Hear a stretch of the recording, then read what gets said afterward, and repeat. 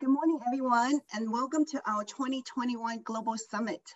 My name is Shan Zhang, your 2021 Global Business Council Chair of the West Gabriel Valley Realtors.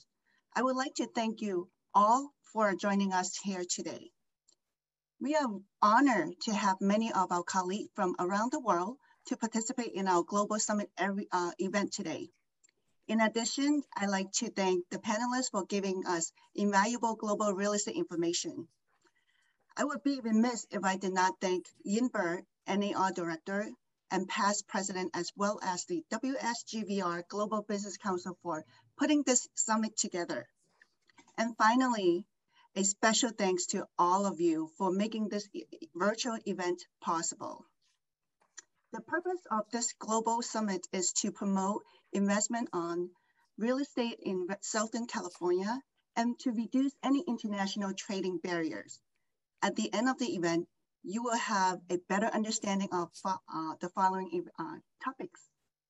One is how to obtain financing as a foreign national current global investment trends, how should one hold title while investing in the United States? And lastly, how to transfer funds to overseas after successful selling your property in the United States.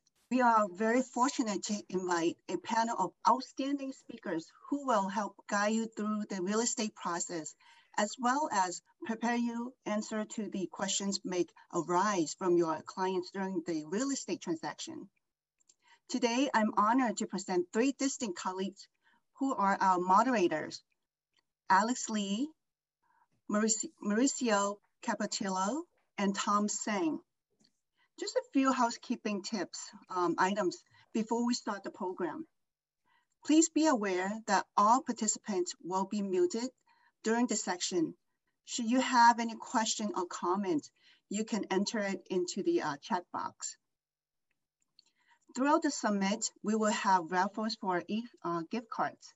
So please pay attention to the speakers and the chat box will have questions. Once you see the questions, try your best trying to answer, typing the answer as fast as you can. The first person who answered the question correctly will win a $25 gift card. We will also have the lucky drawing at the end of the summit so please make sure stay until the end of the summit section for a chance to win more gift cards. On behalf of the West San Gabriel Valley Realtors, we'd like to kick off um, the event with a video that introduced Southern California to our state.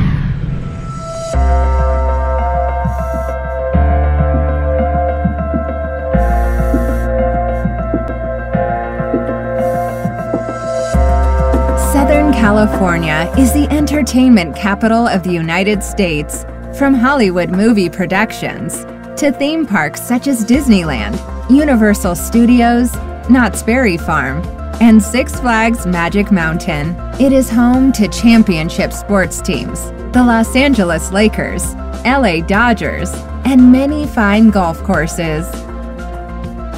We offer many cultural opportunities like the acclaimed Huntington Library and the Los Angeles County Arboretum.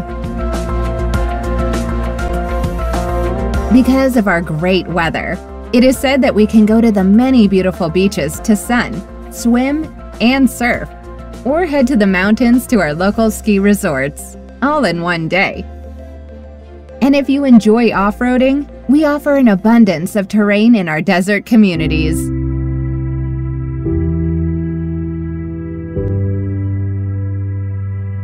We have the greatest education opportunities with USC, UCLA, UC Irvine, and Caltech, all within reach of the San Gabriel Valley areas. This opens the door to high paying job opportunities. Our diverse communities offer a plethora of ethnic restaurant selections that should satisfy your taste buds, making everyone feel welcome and at home.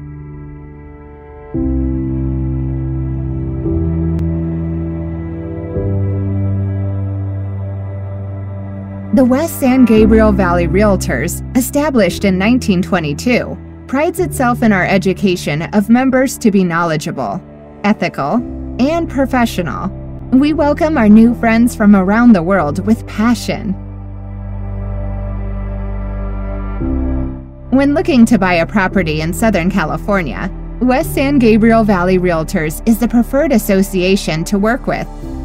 Our diverse membership, representing over 3,000 realtor members who are the voice of real estate, specializing in and serving the award winning communities of Alhambra, Rosemead, Monterey Park, San Gabriel, Temple City, and beyond. We look forward to scheduling showings, guiding you through the inspection process, and helping you work with lenders that even offer foreign national programs. There are multiple property types available here in the San Gabriel Valley area, which include apartments, condos, high rises, and single family homes, all in varied price ranges. If you wish to invest in commercial, we'll have those opportunities too. There are many new hotels and various commercial opportunities, office buildings, retail shopping centers, and one of our thriving sectors, warehouses, being built right now with our city's growing needs. We take time to learn different cultures and your needs when it comes time for you to invest here in Southern California. We take pride in showing you our San Gabriel Valley area we are tremendously proud of what we've accomplished. We are up for the challenge of helping you achieve your American dream. It is the measure of who we are and what we can do for you.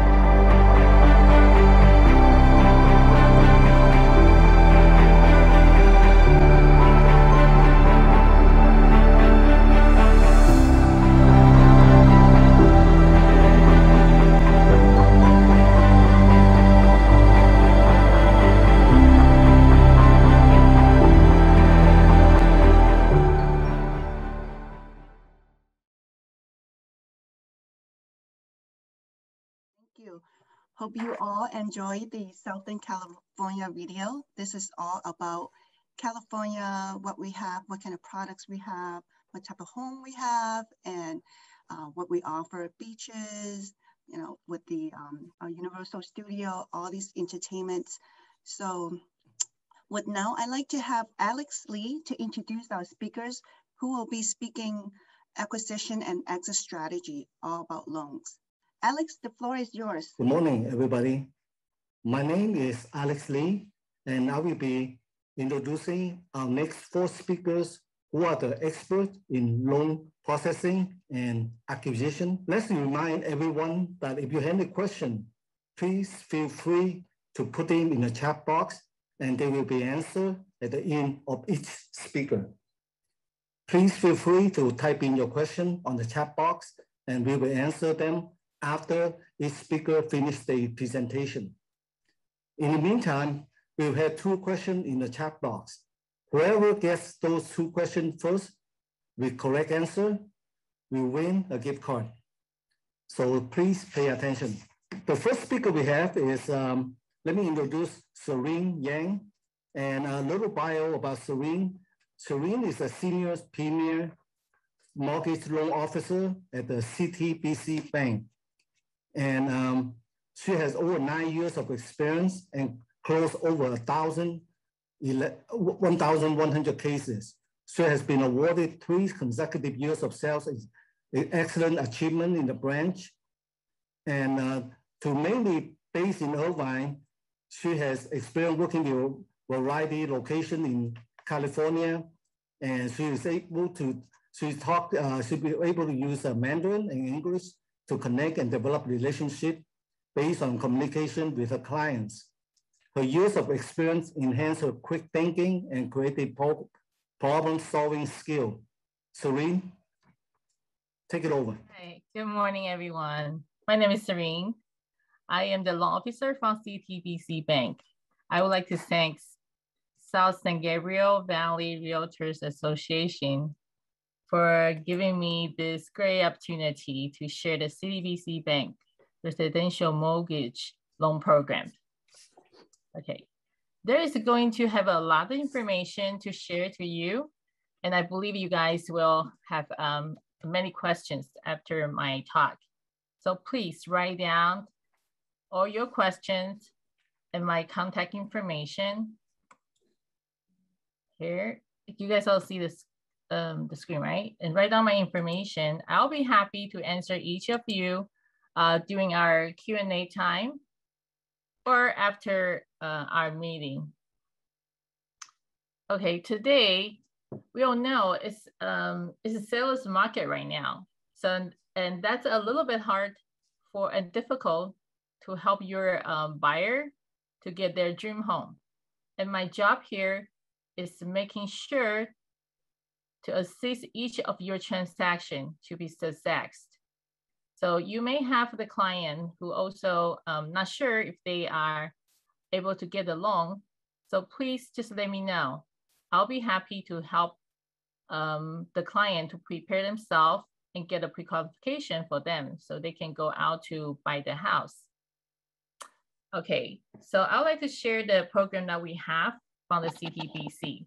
Okay, CTBC has many the different the loan program, but there's um, the two popular one I would like to talk to you today.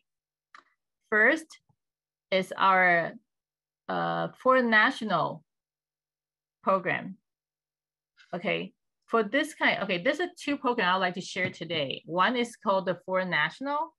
The other one is called No, no Income Document Program. It's called, um, so that the client don't need to pre, pre uh, prepare the income so they can still get the loan. Okay, first we'd like to talk about the Foreign National Program. For um, this kind of program, who will be the, uh, the person can be applied? Usually it's for the um, the borrower who is a new immigration and they don't have a good credit or they don't have a credit in the state. And also they are not uh, the permanent resident from the state. And also there are just um, B1, B2 visa, or they're students, they're L1s. For those people who is not have a credit in the state, they can apply for this kind of uh, the loan program. So for them, how are we gonna verify um, their income in the state? So we can allow them to use their own income from their own country. For example, we have a client who is uh, the job in China, in Taiwan, Thailand, a different country, and they can just use their um, the employment letter from their own company.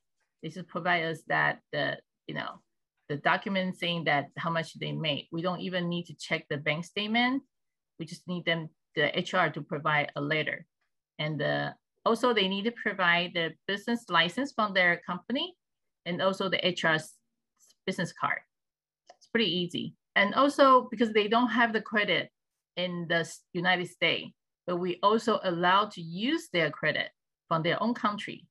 For example, like uh, the China, they do have their own credit report system, but we do allow to use it.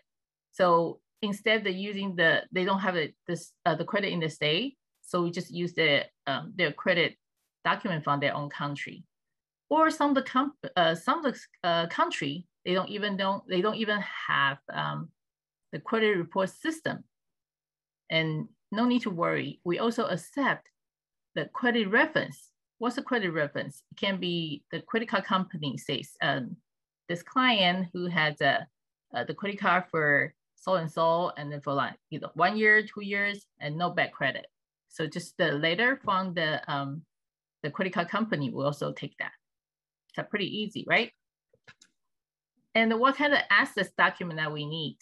Okay, we need this client to have a two months bank statement in the state. But if they have the bank statement in their own country, we also take that. So when they transfer the money to the state, we can trace back. So, oh, this is from the Hong Kong, from this bank. And we have a Hong Kong bank statement. And we also allow to use that. Okay. Is that, am I too quick? Am I okay? You guys all get it? No, you're doing fine, Sorry. oh, making Wait. sure you guys really get it and not too fast, just let me know, okay? Okay, also, let's talk about the, um, the access program. This one's pretty popular right now because we know the foreign national, they are really decreased a lot from, you know, previous, previous years. But right now we do have a lot of um, the assets, uh, the, the, okay, the, the client who is US citizen or they're green card holder, they do have a, the good assets background, but they do not have a good income, right? But we can also help them to get the loan. Okay, how are we gonna help them for that? Okay, so the um, the, also the foreign national can also use this assets program. Okay, this is very easy. We only need the one month bank statement for the down pay, only need a one month bank statement.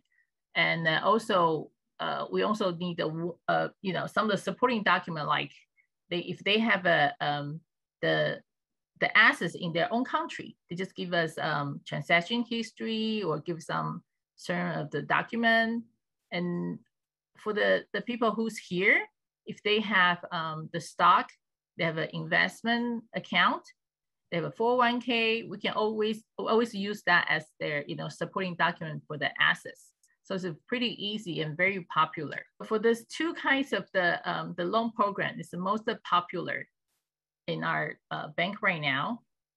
So um, for our bank, we like, you know, the video says, um, you know, the San Gabriel Valley had tons of the single family house, the condos and, and the one to four units. We can also do, oh, we can also do that kind of the, uh, the property. So CTBC's allowed it to do those property. And we also allowed uh, the occupancy can be primary, can be second home, can be the investment. For our bank, we also allowed to have the, uh, the program. We have a 30 years amortization and we have a one year arm, um, three year arm, um, and the five year arm. Um.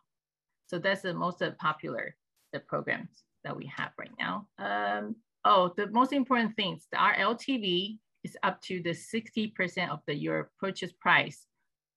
And we're also allowed to do the refinance. So if the client, oh, so well for the you guys don't do it, you guys don't care about refinance, right? So just for the purchase, so we can do up to the 60%, and we can go up to the five million. So that's uh, you know quite a lot. I don't believe this as many banks can do that. So we can do up to five millions. The most important, important thing is that we can do 30 days closing or less. So we speed up. I know because it's really hard for the sellers market. So everybody is bidding for the house, right? So seller always wanted to have a the short transaction. We can do it 30 days or shorter. The, the shortest I had in my record is 17 days. So um, 30 days closing, and also we can do the seven days to get the underwriter loan approval.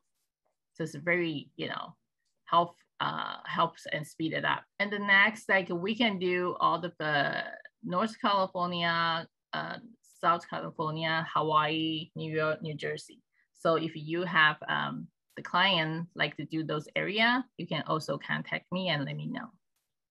All right. So I know it's pretty quick and there's so many information. So um, I would like to um, open our Q&A time. And also, oh, forgot the one thing, it's very important that you guys may interesting about the rate, right? Our interest rate can low as like 3.5 to five. It's at the range. It depends on the their status, their visa, and their, you know, different the qualification. So it can be very. So if you have any clients that you are not sure about it, you can always talk to me and let me know there's something I can help to make them, you know, to move over. Okay, so um, right now, um, I would like to move to the um, Q&A time. I don't know how that's gonna work. So if anyone can help me? Yeah, yeah, sure, okay. Celine. And thank you for a uh, very informative presentation. And um, I know you mentioned something about other than California, you have some other other states that you can do the loan. But um, so we have a question from uh, Denise Lowe. Uh, do you also offer the loan program other than California? So can you specify which state that you guys also offer, please? Yes, um, as I say, there is um, Hawaii, New York, and New Jersey. We only lending for the um, the area that we have a branch on it. Oh, I see. Okay. Uh, any other question? I don't see it in the in the question and answer box or the chat box. Or anybody else um, that had any question? Hi, Serene. We do have a few questions in the chat box. Um, however, I know, I try to, yeah. I try to read them over. Constraining though, uh, please enter in the chat box so we can move on to our guest speaker and the program since we're short on time. Okay, let me see now. Okay. Okay, so you asked about what's the typical interest rate for the assess program? This is a program, okay, as I say, it can be three point five to um four point five. How about the gift fund accepted? Yes, yes. We allow the um fifty percent of the down pay and can use it as a gift fund. Thanks, a good question. Okay, the next question from Mauricio is uh, what's the maximum loan amount for the CTBC loan program? To five million, yeah. Okay, I guess that's that's all the questions that I see. Well, thank you. Thank you, Serene. Thank you. Okay, now uh, with my pleasure, we, I'm going to introduce our second speaker is um, Joe Lam from Loan Direct. Joe's career has been spent over 30 years in structured finance with total transaction over 16 billions. As a founder and CEO of Loan Direct, his mission is to deliver sustainable home ownership by offering finance solutions to the non-bankable home buyers. As founder and CEO of Azure Holdings, his mission is to deliver safe and sound investment solution to investors in the area of structural finance, real estate development, and speculation, both in the US as well as Southeast Asia. Joe, take it over, please. Good morning, everyone. Uh, thank you, Alex, for that wonderful introduction. Thank you, the board, for the opportunity to be here today. It's an honor uh, to share some information about uh, Loan Direct and the program that we have to the foreign buyers. I'm going to share a couple of uh, slides here. So the uh, the current trend of the marketplace is that there's a uh, obviously there's a increase in demand for the foreign buyers coming into the U.S. markets, and that has to do with the COVID, of course. Um, before 2019, we, I think U.S. saw about 77 billion dollars of uh, real estate being purchased by foreign buyers, and of course, because of COVID, that has stopped for about 18 months. In 2021, we've seen a surge of demand for foreign buyers. And we have found that largely a lot of people who inquires have seen the impact of COVID and where they live. And, you know, I'm from uh, Vietnam, for example, and if you are well-to-do in Vietnam, if you're multi-millionaire in Vietnam, you live very well. And I'm sure that's pretty much uh, uh across the, the world. However, with the uh, COVID, a lot of those people have seen that perhaps they're um, um, they're not mobile or, or, freely as we are in the United States. So they start to realize that perhaps it's not just a lifestyle, but the freedom uh, is also important to them. So having a home in the US, having the ability to spend some time here is also important. Uh, there are people that have came here for the for the vaccine forth. So I think COVID, in a sense, uh, even though it's pretty bad worldwide, but it does stimulate uh, a lot of foreign buyers. Um, and we've seen, again, about 300% increase um, in 2021. Now, um, prior to the, um, uh, the COVID time, uh, you know, 2018, what have you, a lot of buyers are, uh, have been paying cash from China, Vietnam, uh, all of the Asia, India is included. They love cash purchase. And what we have seen in recent years is there's a lot of countries that limit the amount of money that can bring out of the country. Uh, I know we all widely know that uh, China limit $50,000 per uh, transaction that is given out to uh, family members here and so forth. So if you were to buy a million dollar home, of course, that's going to take a long time to transfer that million dollar. And the same for Vietnam, and even for countries that don't have restriction like Thailand or Philippines, it does take quite some time to transfer. Uh, I had a case where uh, one of my clients needs to transfer $400,000 from the Philippines. Uh, he used HSBC, which is an international bank. But when he went to the bank, um, they allow him to transfer $35,000 a day. Well, obviously $400,000 and do that uh, at 35,000 a day, that would be quite limited. And therefore we were late on closing Uh, obviously, that seller didn't like that too much. Uh, just recently, just last week, we had a buyer who transferred $400,000 from Thailand to the title company because it's gift fund to her daughter. Well, title company rejected it because it did not come from the, the buyer's name. So therefore, we have to reroute it to the buyer. Long story short, the challenge of transfer international money is uh, extremely difficult, and you have to be very careful with that. Uh, so having said that, a lot of buyers now opted to finance because obviously it's a lot easier to transfer $300,000 on a million dollar purchase than transfer the million dollar. Uh, so therefore we have our foreign national program. Now we know that out of the uh, countries outside of, of US, the guidelines are pretty loosely because we don't know you know, what each country has and so forth. So pretty difficult to establish any employment, any income verification, or even credit verification. Um, so we have designed our foreign buyer programs to make it extremely in, uh, simple. Uh, we first need to get a valid passport. Of course, we got to know who they are. Um, that's always important. Uh, we do require a 30% down payment. That payment obviously needs to be sourced. In other words, that has to be in their bank in their country.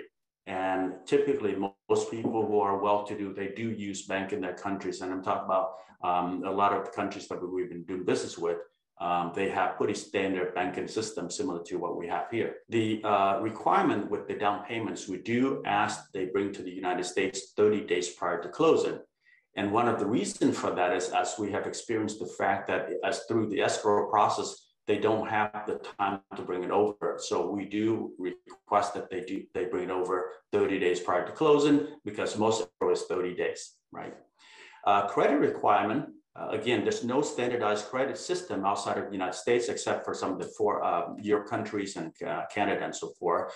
We actually don't use credit at all. No credit required we do need a letter of reference from their bank, their financial institution. And again, most countries, if you have money in the bank, they would write a pretty brief letter for you stating that you have been uh, a bank customer for two or three years with good standing. That is all that we need.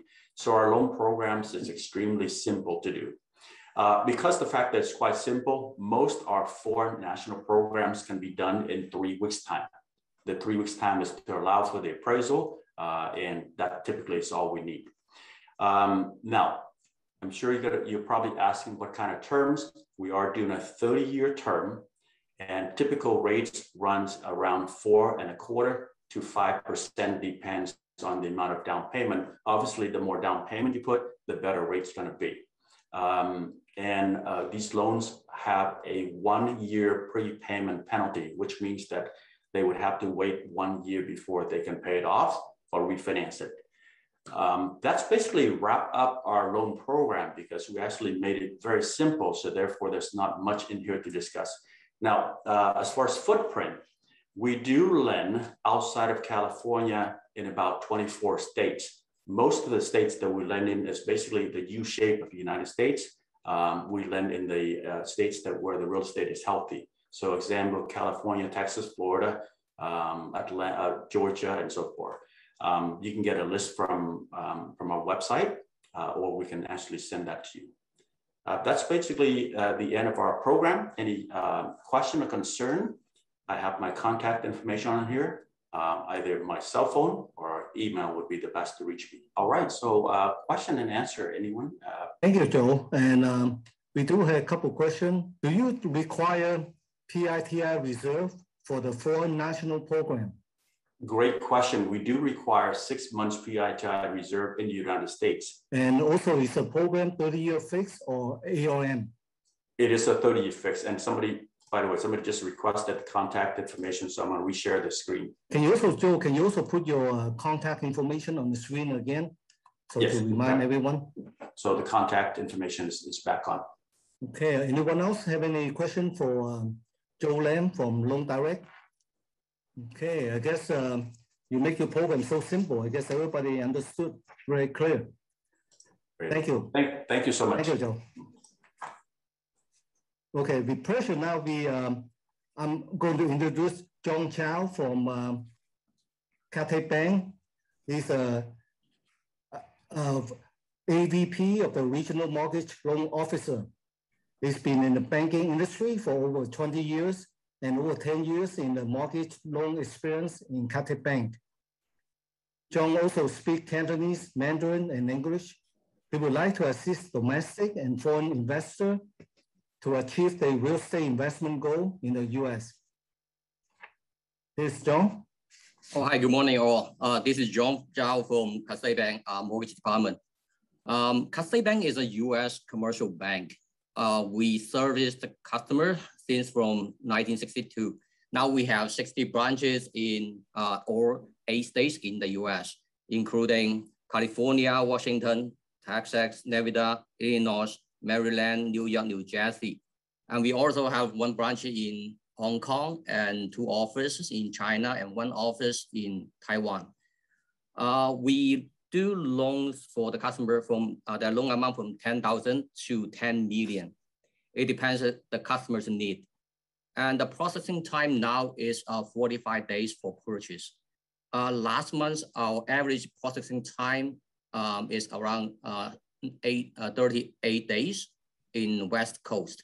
For the East Coast, we complicate a little bit because that New York or Texas, so we need to complete transaction in attorney office, so we take longer. Today, I'm going to introduce two loan programs here. The first one we call Home Mortgage Plus, which means is for the local person. The customer no need to provide or 1099.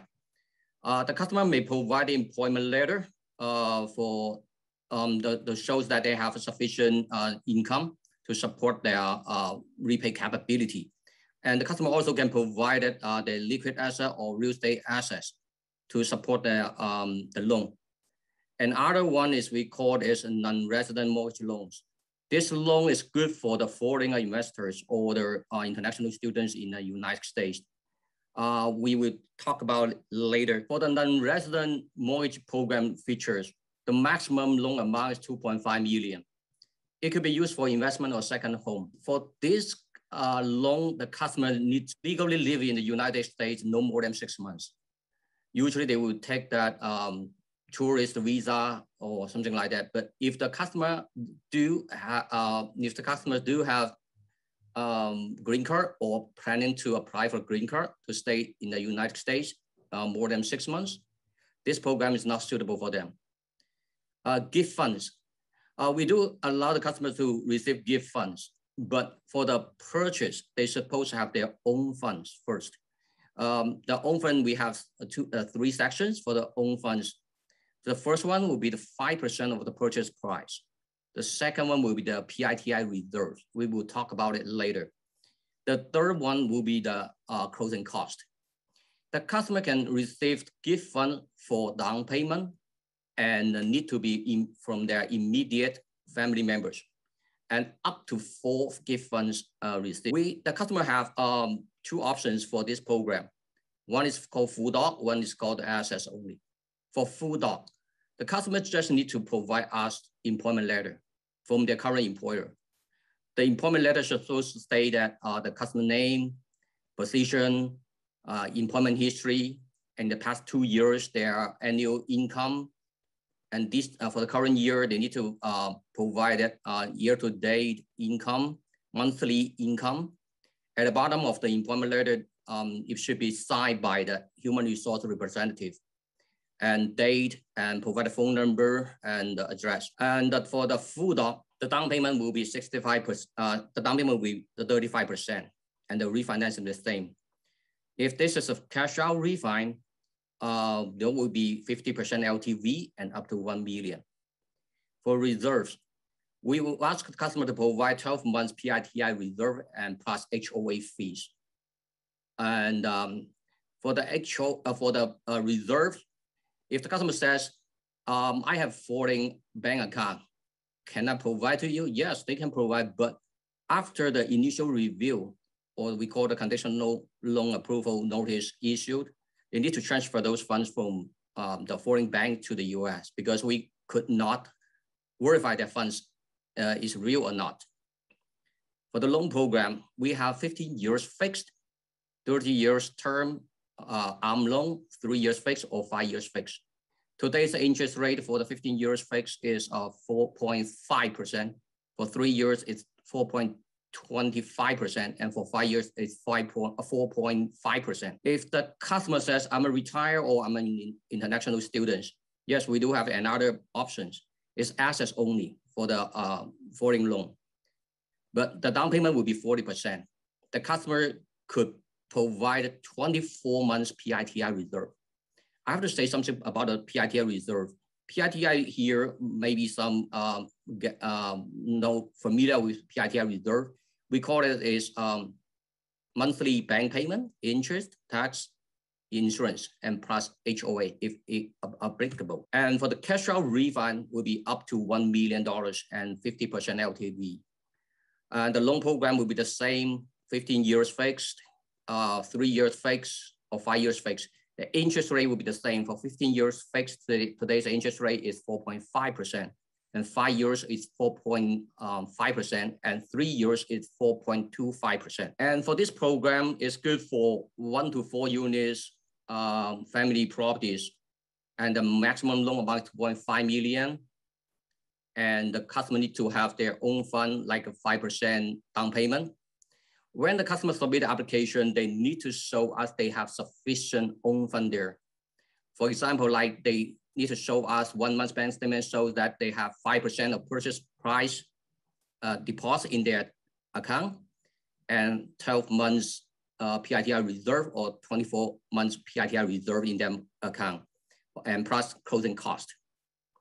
From some customer, if they have um, uh, uh, uh, real estate properties in the US, if they're going with the non-resident or assets on uh, assets only loan, they can use that US real estate properties equity to offset that 12 months PITI reserve.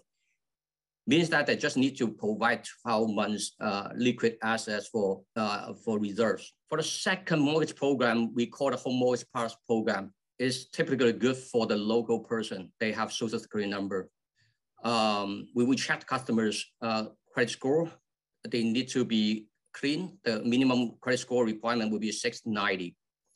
Uh, they should suppose in the past 12 months, they have no more, um, they have no bad record. For example, like a default or late pay in their mortgage history. Uh, this program is good for primary residents or second home. The down payment requirement will be 30% for owner occupy and 35% for investment.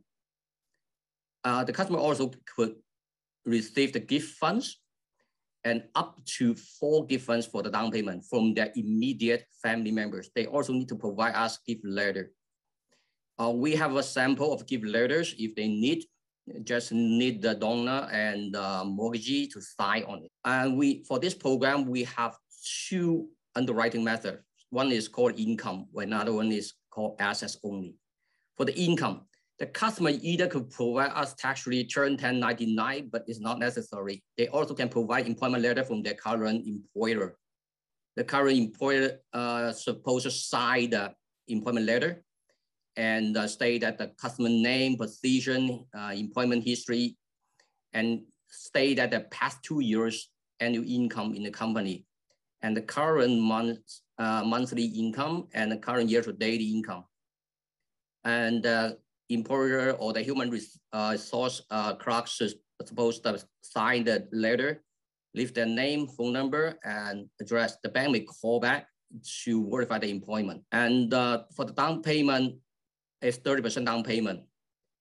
For the cash out refund, it will be the same with that uh, last one the last program is 50% cash out and up to 1 million. If the customer could provide employment letter, the reserve will be six months PITI reserve plus HOA fees. If they could not provide employment letter, for example, say I'm retired or I'm unemployed, yes, they still can do the loan, but they need to provide 24 months PITI reserve uh, plus uh, HOA fees. And uh, if the customer or they have other uh, real estate properties in the US states, and then they can use that 12 months PITI reserve with that um, real, estate, real estate property equity. For the program will be 15 years fixed. Today's interest rate is 4.375. For uh, we have 30 years term, three years fixed and five years fixed arm loan For this arm loan, five years arm loan, today's interest rate is 4.375. And for three years, it today is 4.125%. And uh, for FICO, I have to say that for this program, it's pretty straightforward.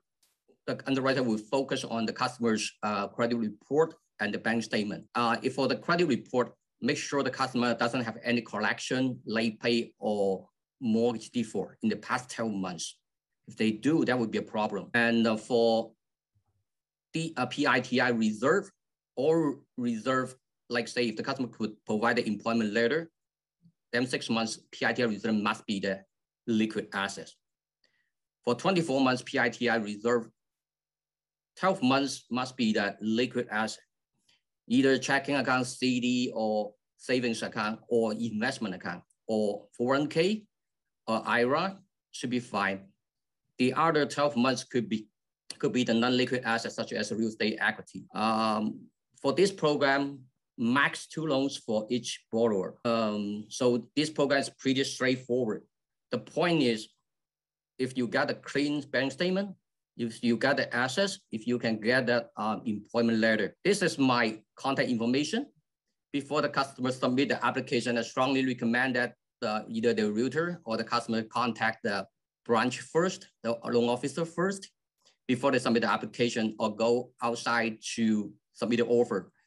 Because it's case by case. For each loan application will not be the same. Um, I have been dealing with hundreds loan application, no one will be the same, exactly the same. Um, so I suggest customers to be here and show that bank statement and planning when they can transfer the fund from, um, even though they're from uh, overseas a bank to US, because for um, non-resident loan or some even is local person uh, or borrower, they, they deposit the fund in other uh, countries uh, for example, like uh, South Korea, Vietnam, China, even though I heard from Hong Kong, they still have trans, uh, foreign currency policy. They have a problem recently to transfer funds from there to the US. So that would be a better idea to contact your local branch mortgage loan officer and before you submit the application. For each Cathay Bank branch, we have at least one mortgage loan officer uh, there and can serve the customer. Um, at the end, um, if the customer or if anyone have question, just let me know here. Thank you, John. Okay, now um, thank you for the good information on Cathay Bank, the loan program. Um, right now we have a few questions and you can also post your uh, on the screen, your information on the screen, John, so people can um, take a screenshot at it if they had any more questions later. Um, the question we have is from uh, Judy Charles. She say how to calculate assets depletion, 36 months or 84 months? For is for uh, assets, we will check the customers. Uh, we will check the pop. Actually, we will start to check the property record and make sure that the property is under the customer's name. And the second, because we, we, we don't know the customers, how much they want to borrow and how much PITI they need to reserve. So usually if they have real estate property, it's not in the Cathay bank, the same bank, that will be easy to qualify. It's case by case. So you have to contact the, uh, the loan officer to discuss this. I see another question here is that how many states in Cathay Bank located? We have eight states, and um, including California, Washington, Texas, Nevada, Illinois, Maryland, New York, and New Jersey, Texas. And we have one branch in Hong Kong. It's, it's a bank branch and two offices in China and one office in Taiwan. Okay, thank you. And also uh, from Peter Lam, um, can foreigner brings in funds by wire direct from outside of US to the escrow? Uh, yes, they can, but well, usually I would not recommend to, to do so. You know what? Um, they can. They can wire the fund from there to escrow directly for the down payment, right?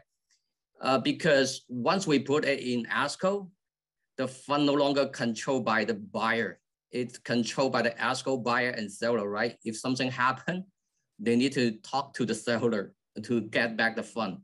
Yes, they, they, at the at the closing or before the final approval, they can uh, send a wire to uh, escrow directory. Yes. Yes. Okay. Can you post your contact again? What about the fee? The fee, um, we have origination fee 980 since from August 2nd. Uh, the customer need to also need to um, which they will charge uh, credit report fee is $29 and $29 and 24 cents or 44 cents, something like that. And there will be appraisal fee. Uh, will be 550 and up. It depends on the appraisal company. But usually in R1 area, there will be 600 to $700. There will be $11 of a flood certificate and make sure that the subject property is not in the flood zone. Otherwise, they need to buy a FEMA insurance. Uh, that will be $11. And we will charge $70 for tax service. So around here will be under 1,600 something. And the customer will also need to pay that escrow and title. Uh, that's almost there. Okay, thank you. Okay, also um, we have a question asked from Peter. Uh, can foreigner LLC company apply for the loan? No, not for residential loan. LLC needs to be go with um, commercial program, not for the mortgage. Okay, I guess that's all the question. Thank you. Thank you. Thank you. Okay, now we hear all this um, loan program and the last, uh, we need to get this money into the US and um, or vice versa. So we have uh, our last speaker uh, for this presentation is Eva Slavtcheva. Um, she's a business development manager for MoneyCorp. She originally from Bulgaria.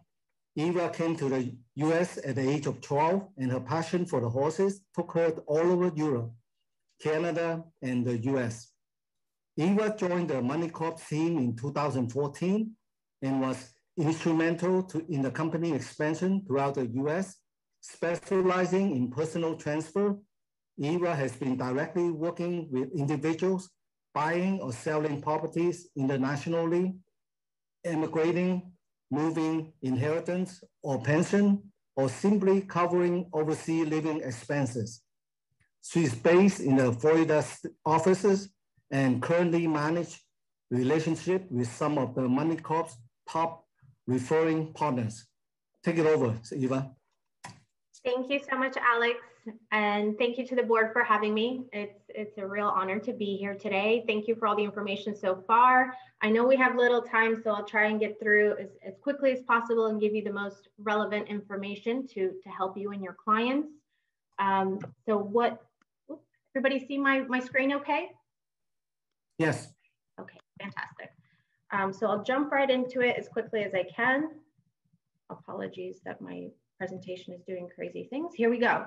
Um, if you have not heard of, of MoneyCorp before, all we do all day, every day is currency exchange and international payments. The majority of our clients are either buying properties and bringing money into the US or selling those US investments and repatriating money back home. Anytime your clients work with a currency exchange company instead of using the bank, chances are they're saving uh, quite a lot of money banks are fantastic for everyday banking, but not so much when it comes to currency exchange, especially US banks on the US side. Um, I do encourage you to take a look at MoneyCorp um, later, take a look at our website, learn a little bit more about us. We're one of the largest and most established currency exchange companies out there. We do have teams in 11 different countries. And last year we traded about 59.5 billion in about 120 different currencies. So chances are most places we can help your clients and their transfer needs. These are some of the locations where we have teams and offices. And our website has incredible amounts of information, not just on our services, but also market and weekly updates. If you're ever wondering why the US dollar is moving in one direction or the Canadian dollar is moving in another, you can always check in there and find lots of useful information. Our team is always coming up with new property guides and different reasons that your clients may need us besides buying or selling property. Besides individuals, it's worth noting that we can also help businesses and corporations that have needs to move money to and from the US or within between other countries. Um, a lot of our international investors do like to invest in the US under an LLC, under a business, so we can certainly accommodate these types of transfers. This is the biggest question that I that I get daily. Why not use my bank? I don't get it. Why use MoneyCorp? Why use a currency exchange company? Um, the, there's two reasons. Banks have two sets of fees. One is the international wire fee. It's usually a flat fee country to country. A lot of the time, clients believe that that's all they're paying to make an international transfer. It's not true. The real profit made is actually the margin taken on the exchange rate. And a lot of the time working with a bank, it's not quite clear to a client what that margin is, how much they're actually paying to transfer money internationally. Working with a currency exchange company, you're not only getting a far more competitive rate of exchange than the bank, you're avoiding international wire fees a lot of the time as we have local accounts in different countries, but you do get that personal help. You have a dedicated currency dealer that's assigned to each client. That way, your buyer or your seller can begin planning for their upcoming transfer of funds. We can give them information on the exchange rate movements. We can help them target a better rate of exchange the earlier we start.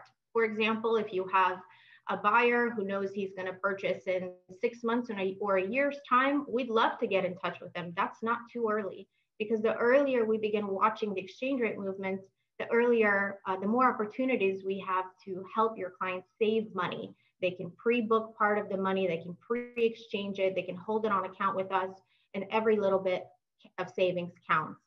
With MoneyCorp, there's different ways to secure an exchange rate. We can do a watch order where we help your client target a favorable move in the, in the market.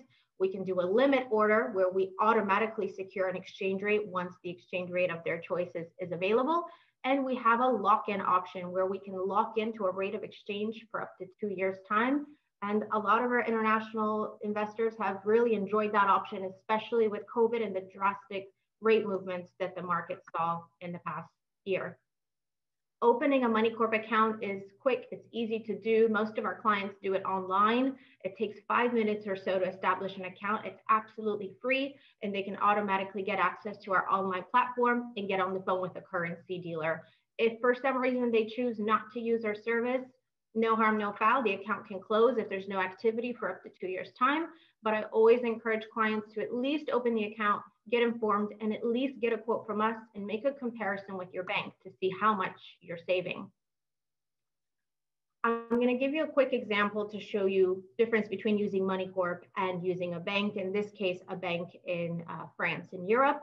Let's say Clarice is looking to purchase property in California for 500,000 US dollars.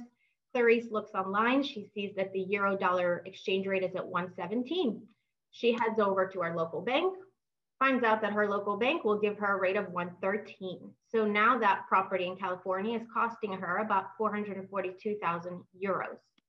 If she opens a quick account with MoneyCorp and does a quick comparison, she can quickly see she's getting a far better rate. And now that property is costing 431,000 euros.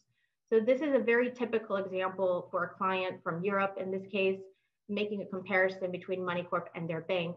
In addition, Clarice is not paying an international wire fee because MoneyCorp has accounts in Europe. And every step of the way, we can show the flow of funds. We can show when Clarice sent funds to her MoneyCorp account, when Clarice exchanged it, and when Clarice sends it on to title. A lot of our clients request this, whether it's a mortgage requirement, a title requirement, a seller requirement, we can always show a very clear flow of funds.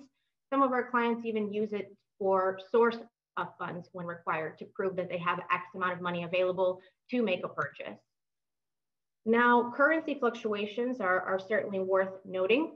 In this case, we'll take a look at Clarice buying that same property, but what if she planned a little bit earlier instead of waiting to the very last day to send the money? She knew she was buying this property. So if she had done the exchange on June 1st rather than today, the exchange rate was at 1.22, she would have paid 409,000 euros but she waited till August 6th and she paid 427,000 euros. So there's always, going back to what I mentioned earlier, an, a chance to lock in that exchange rate when it's more favorable for your client. And the earlier they begin the process of working with us, the more opportunity we have to help them save. Exchange rates are always ticking, always moving. Um, they're affected by many, many things. Obviously, in the last year, we had COVID, we had Brexit in the in the United Kingdom and Europe, we had a U.S. presidential election. A lot went on, and all of that sort of craziness tends to make the US dollar go up as US dollar is considered one of the safe haven currencies. A high US dollar prompted a lot of foreign nationals to start selling their US properties. Why? Because they're getting a lot more bang for their buck when they convert those US dollars back into their home currencies. 2021, we are seeing economies stabilizing. We are seeing the return of international investors. And to echo off of what Joe said, we are certainly seeing an increase in high net worth transactions as far as international investors go. Um, and another trend we're also noticing is Americans buying abroad, a lot, a lot going on. Now, I do want to mention sellers as that has been sort of the big uh, thing that has kept MoneyCorp busy specifically and, and a, a, lot of other companies as well. There's been a lot of foreign national selling, and I think it's so important to understand that process and to best guide your clients throughout that. So when a client is ready to sell, let's say Tim from Canada is selling his US home, it's closing day, he has US dollars that he's ready to, to send somewhere, and the title company is going to ask him where Tim wants that money to go to. A lot of our foreign national clients will say, you know what, just send it to my US bank account. Uh, you know, I'm not even in the US. I don't, I don't need the money right now. I'll deal with it later. There's no trouble for the title company to do that. There's no trouble for Tim to, to make that request. The trouble comes a little bit later when Tim decides to access that money from the US bank and decides to bring it back to Canada or bring it back to any other country he wants, that's when the problem comes. There's something called the US Patriot Act. You are required to be physically present at your US bank when initiating a wire transfer. I'm speaking specifically to a large wire transfer. Your US bank will be happy to let you move 500 bucks there, a thousand bucks there, but a large chunk of money, they're going to require you to be physically present to sign off on that transfer. And Tim's not there. A lot of our foreign national sellers are not here. So, worth having that conversation with your clients prior to closing day so they can best prepare on how they're going to access their money. I have mentioned this to realtors, to title companies, to clients. A lot of the time, the clients do not believe me or choose not to believe me that they can't access their own money in a US bank. And then I get a phone call of, um, you know, apologies and, and what do we do now? My money's stuck. So let's avoid that situation and warn your clients. Tim can also say to the title company, please go ahead and send it to my Canadian bank. I just want to receive it in Canadian dollars. Here's my information. Again, that can be done. But what happens on in the background is the title company in the US is working with the US bank that US bank is going to be the one to convert the US dollars to Canadian dollars. So the US bank is in charge of the margin. The US bank is making the profit on the exchange here. It's not up to the title company, it's not up to anyone else. No one's going to check with Tim and say, Tim, are you okay with us charging you XYZ? It's not going to happen. He's just going to receive Canadian dollars in his bank and it's going to be a lot less than what he should get. So, again, worth having that conversation with your client prior to making that decision. Before closing day, MoneyCorp can help. And again, underline before closing day. Um, call me day before if, if need be or morning of, I'll do my best to help. But we can open an account for Tim right away. We can provide the title company with US dollar account details in the US. And Tim can easily receive his proceeds into his MoneyCorp account. Now Tim is in charge. If Tim wants to book the exchange same day and send it onto his account in Canada, fine. MoneyCorp will do that for him. He'll get a better rate, no transfer fees, and he's in charge of, of what he's what he's doing and how he's doing it. Tim also has the ability to tell to want to hold on to my money in US dollars. He can leave it on account with us for as long as he likes. And when he's happy with the exchange rate movement, he can book the exchange and transfer at that point. Almost all of our foreign national sellers choose to do this. They choose to hold funds on account and they use our team to target a good time in the market in the exchange rate to book that exchange. And it can save them a significant amount of money. Whether that property is being sold uh, under an LLC, trust, corporation, again, we can accommodate that. And a few months later, when FERC the money comes, again, that can go into the corp account as well. I'm going to skip through that slide because we just don't have a whole lot of time. Um, but I will simply leave you with, we do have a partner program where you can directly introduce your clients to myself, my team. We're gonna personally take them through the process, keep you updated on, on your clients' um, action, on their progress. And if you need, I can provide you with helpful links, whether it's for your website, whether it's for your blog, if you wish to target international clients, um, this can help you. Um, a lot of people put that on their website and then international leads come through and register for an account. And we do have a daily exchange rate email available. If you'd like that, call me, email me after the presentation. I'll get you signed up for it. It's nice to just take a glance at a few exchange rates in the morning and uh, help you in your conversations with your, with your clients later on. So these, this is my personal cell phone number. You can call, text there. My email address as well. If you want any of the slides, if you wish for any information or have specific client scenarios you want to discuss, by all means, I'll be I'll be more than happy to help. Um, and uh, thank you for your time. I, I hope I I hope I finished on time. Over to you, Alex. Thank you, Eva. You're doing great. Very good. Very informative you know, I learned quite a bit too about money corps, very, very detailed and uh, clear. And right now we go to the question and answer for uh, Eva. Anybody have any question for Eva? Please post it. I've covered everything. okay, how many uh, state does MoneyCorp do business in? Can you apply? How many, how many states? How many, yeah, yes all the states. We can help throughout any any state. Um, we do have a list of uh, currencies and countries on our website, I believe. But I always encourage, um, you know, if you have a specific client or specific transfer need, call me, email me. I'll quickly take a look and let you know how and if we can help. A lot of the time with international investors, it's not so black and white. It's I live here, but my money's coming from this country and I'm investing in this third country. So we're quite used to that and we can accommodate those situations. Um, so if anybody wants to discuss, let me know. The easiest way to introduce a client is really to copy me in on an email. I register the client under your name and I jump on assisting them right away. Um, it's as simple as that, really. Okay. Uh, the next question we have is, uh, does MoneyCorp work with China it has some transferring limit, does that apply to money corps? Yes, so we we can assist. It's just a little bit harder for us. Meaning, going back to that to that uh, limit on how much they can send to us, um, we can't change the rules of, of China. Um, so we have to, as much as the client can move out, we can we can assist. Um, but it is it is difficult. We can't change the rules of certain countries. Not every country allows the free flow of their currency. Not every country allows a third party like MoneyCorp to assist because what that really means is the local bank in that country is not profiting on the exchange rate. Um, so we can help in a lot of places. With China, it's it's not a firm no. It's a situation by situation. Um, our our compliance team will take a look and we'll quickly within half a day let you know yes or no if if we can assist. A lot of the time, it's a matter of the currency. The local um, Chinese currency is not one that we can exchange, but a lot of our international investors from there have Hong Kong dollar accounts, and that's what they're using to do exchanges and transfers, in which case we can help. Um, but it always, always varies, and a lot of the time the funds are in, uh, coming from a different country. So that's why it's not a firm yes or firm no. It's a really case by case situation. Okay. On the same token, how about uh, to Vietnam? Is it the same like China? Would have to take that away because I've not checked on Vietnam recently. I can check with our compliance team and ask. It's not one that I get asked for every day, so I don't know it off the top of my head.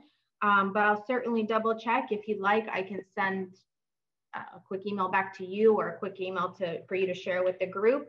Um, but again, these things do change sometimes monthly, sometimes yearly based on politics, life, economics, a lot of things. So our compliance team will sometimes say we can help this month and next year we cannot help. So it really, really varies. Um, I believe we may be able to help with Vietnam. I will have to double check with my dealing team. Yeah, please, you can email me because we yes, do have course. a lot of. Uh, I'll make yeah, a note to do that. Okay, thank you. Yes. Okay. Okay, now the next question we have is uh, any one-time charge for the transaction? There's no there's no charge to open the account. There's no transfer fee. Uh, there's no fee for us to receive funds. The only time that Moneycorp has any charge or makes any profit is only when we're converting one currency into another. It's always at a far better rate of exchange than a bank, and the client will know prior to booking or sending us any money exactly how much of their currency they're sending us, exactly how much US dollars they're receiving. Our profit is always embedded into the quote provided.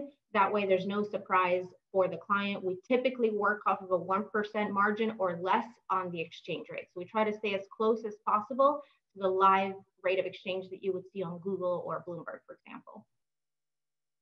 Okay, thank you. And uh, for the next question we have is uh, for the partnership program, can you elaborate more?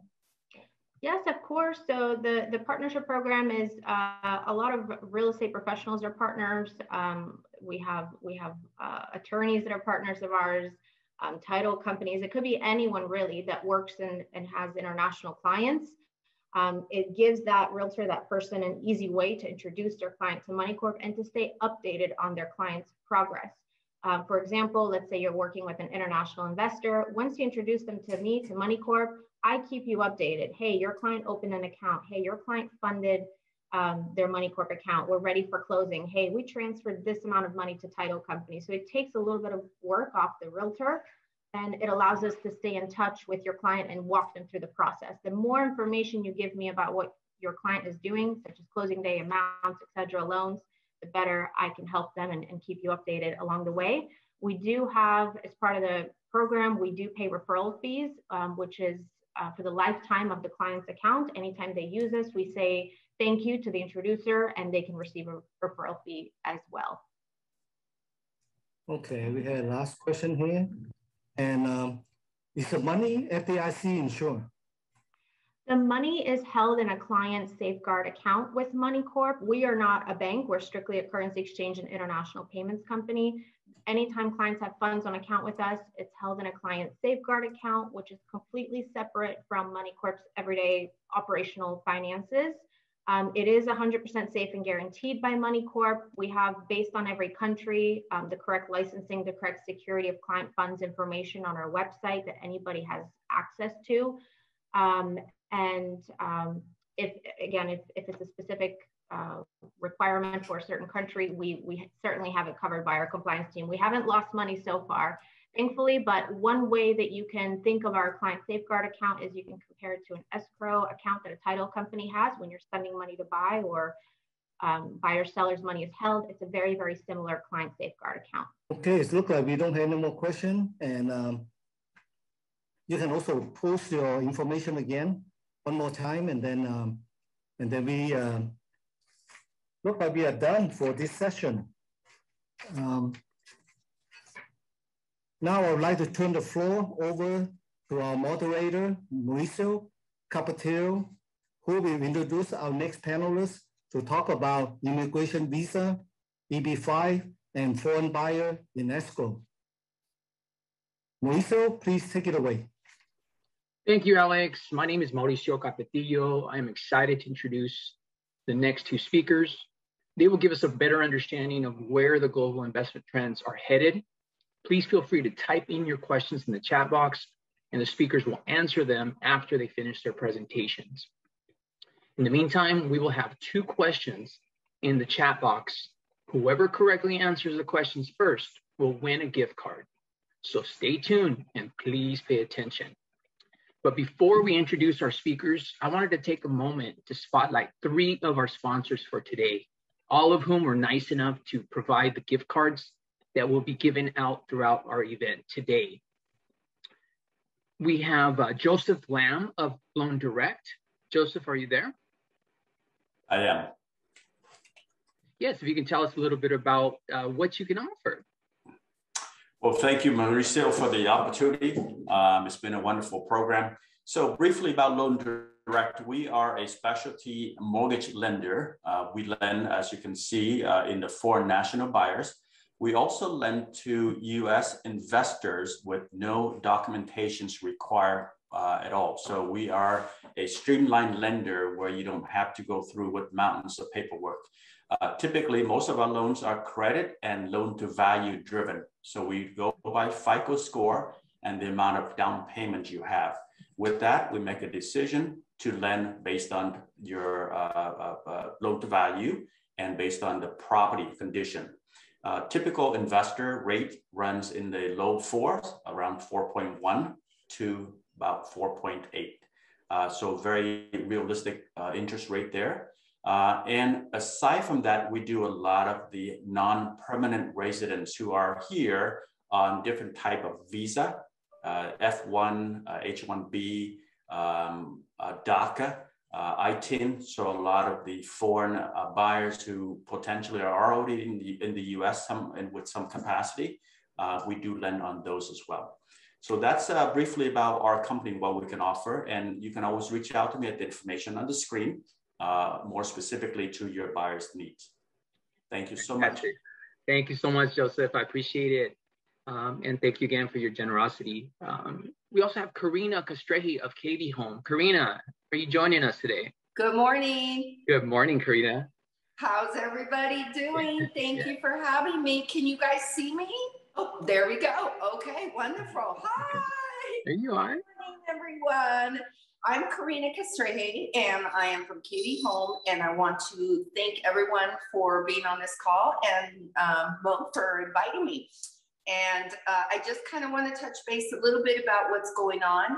Um, I am actually in a community in Upland, California. Um, it's called La Cresta. Um, we have actually two communities in the same place. Uh, one is La Cresta, one is Montara. It is right off of the 210 freeway and um, baseline. You cannot miss it.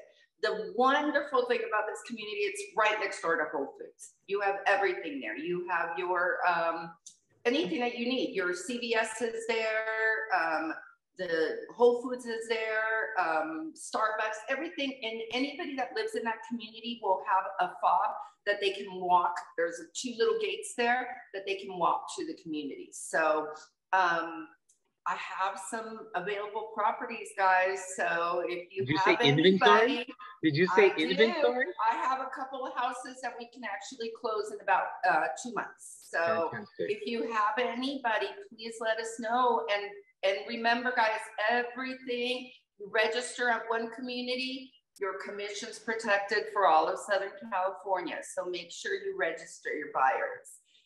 Okay. Yeah, and you know what? And I can vouch for Karina. She is uh, an icon in the in the builder world. She is phenomenal at what she does. She recognizes the importance of real estate professionals, uh, and uh, we're lucky to have you, Karina. Thank you so much for your generosity. Thank really you. appreciate you. Yeah, and we'll uh, we'll put your information uh, available or make your information available to the audience so that they can come visit you and then make a stop over there at Claremont Village because it's right there. Exactly, the right next to the to the colleges. A great location, fantastic, and the the view is amazing. Yes, yes, and I've seen it. It's gorgeous. It's gorgeous. So thank you again, Karina. Appreciate it. Thank you. you, guys. Have a fantastic day. All right, take care. Take care. And I think Carlos, uh, Carlos, are you there? Did you join us? Thank you, Karina. I'm here. Thank you. Carlos, Carlos of Lewis Management Corp. Uh, near and dear to my heart. Carlos, thank you for joining us and thank you for your generosity. Great. Just want to say hi. Just want to, we're the Lewis Group of Companies. I'm the business development manager. Uh, the title formerly held by our dear Mauricio Capetillo, who's helped me uh, get into this role. I just want to share uh, a couple of communities that we're building out um, in the Inland Empire. Uh, we've got Shady Trails over North Fontana. They're building, uh, we've got four different builders out there completing that project. And um, You've got three communities that over the last three weeks have just launched, so there's some opportunity there for your home buyers. And then a second community we want to highlight um, is uh, the Preserve at Chino. We've got a lot of activity going on at the Preserve at Chino. You can go uh, right now and see just homes being built everywhere in that region as they continue to uh, to develop uh, the region there.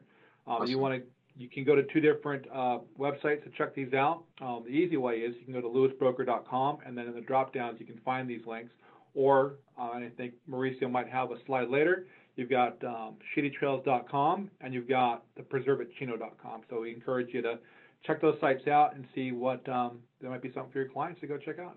Fantastic. Carlos, thank you so much. Really appreciate your uh, generosity as well. And please thank the team for us. Uh, so, yeah, thank you all for your generosity. We look forward to uh, a continued partnership with you all. Really, really important how we support each other. So, thank you again. So, uh, before I introduce our first speaker of the segment, please remember to ask your questions in the chat box as the speakers will be answering questions at the end of their presentation. Uh, our first speaker is Juliana Tu, escrow manager, Viva Escrow Inc. An escrow officer since 1977, Juliana Tu of Viva Escrow Inc. is one of the first escrow officers of Chinese descent in the state of California. Whether paying it forward or giving it back, Juliana is committed to making a difference in the escrow industry. All industry partners like the real estate and mortgage industries and all the industries organizations the California Escrow Association, the American Escrow Association, and the Escrow Institute of California. This commitment has led to various positions which have helped her fulfill her goals. And in 2019, she was the first and hopefully not the last Chinese American president of the California Escrow Association. Juliana is a member of the Escrow Advisory Committee of the Department of Financial Protection and Innovation, previously known as the Department of Business Oversight, and she's a member of the Los Angeles County Assessors Advisory Council. She published her book, The Art of Escrow, in 2012. During the 2020 pandemic, she took on a new project and is continuously working to put all her knowledge into YouTube videos under her channel, Think Escrow. She also has her own website at julianatu.com. In case you're interested, the professional designations behind her name are for Certified Senior Escrow Officer, certified escrow officer, certified bulk sale specialist, and certified escrow instructor. She is also a senior American settlement industry professional as conferred by the American Escrow Association. For Juliana, it, her motto has always been to pay it forward. Knowledge and experience do not mean anything if it is not used for the benefit of others or not passed on to the new generation of escrow officers. Please help me welcome Ms. Juliana Tu. When we have a transaction and it looks like there could be foreign sellers, we start out by asking them or their agent the following question. Question number one Are the clients foreigners? If the answer is no, then we give a big sigh of relief, and all we need to do is have them complete the foreign investment in real property. Act you there, Juliana? Yeah. Can you hear me? Okay, there you are. Okay. Can you see yeah, my screen? We, we got you. Okay. Should I start from the beginning? Yeah, why don't you? All right, then. When we have a transaction and it looks like these could be foreign sellers, we start out by asking them or their agent the following question. Question number one Are the clients foreigners? If the answer is no, then we give a big sigh of relief. All they need to do is complete the Foreign Investment in Real Property Act, the FIRPTA form, and we're off to the races. If the answer is yes, then we have question number two do they have a US tax ID number? If they say yes, then we give a smaller sigh of relief. They may not be able to sign the FIRPTA form, but it's one less worry for us. If the answer to the second question is no, then the FIRPTA process just got a little bit more complicated. So I would like to take this time to give you a rundown of this process from the escrow holder standpoint. And here's a list of the topics that I will talk about in this time period that I have. The importance of tax identification numbers. How do we calculate withholdings? Can we reduce the withholdings? Closing the escrow and doing the withholdings. What happens after the closing or during the closing? Some tips to think about and share with others, and the California withholding. You can imagine how important it is to have a tax identification number. Without it, how would the withholding, where would the withholding amount be placed? How would the client claim it back? So, this is what you should recommend to your client if he does not have an ITIN number unless you are a qualified tax preparer, go through a tax preparer who has experience doing this. Start the application process just as soon as possible as all the requirements needed has to be obtained. For instance, a certified copy of a foreign passport. And this is not just some regular certification. A certified copy can only be obtained by a special certified acceptance agent at the IRS or elsewhere. And not all IRS locations have them. We need a completed W-7 application form and a copy of the purchase contract. Okay, so it's going to take three to four months to get this ITIN. So you need to get started.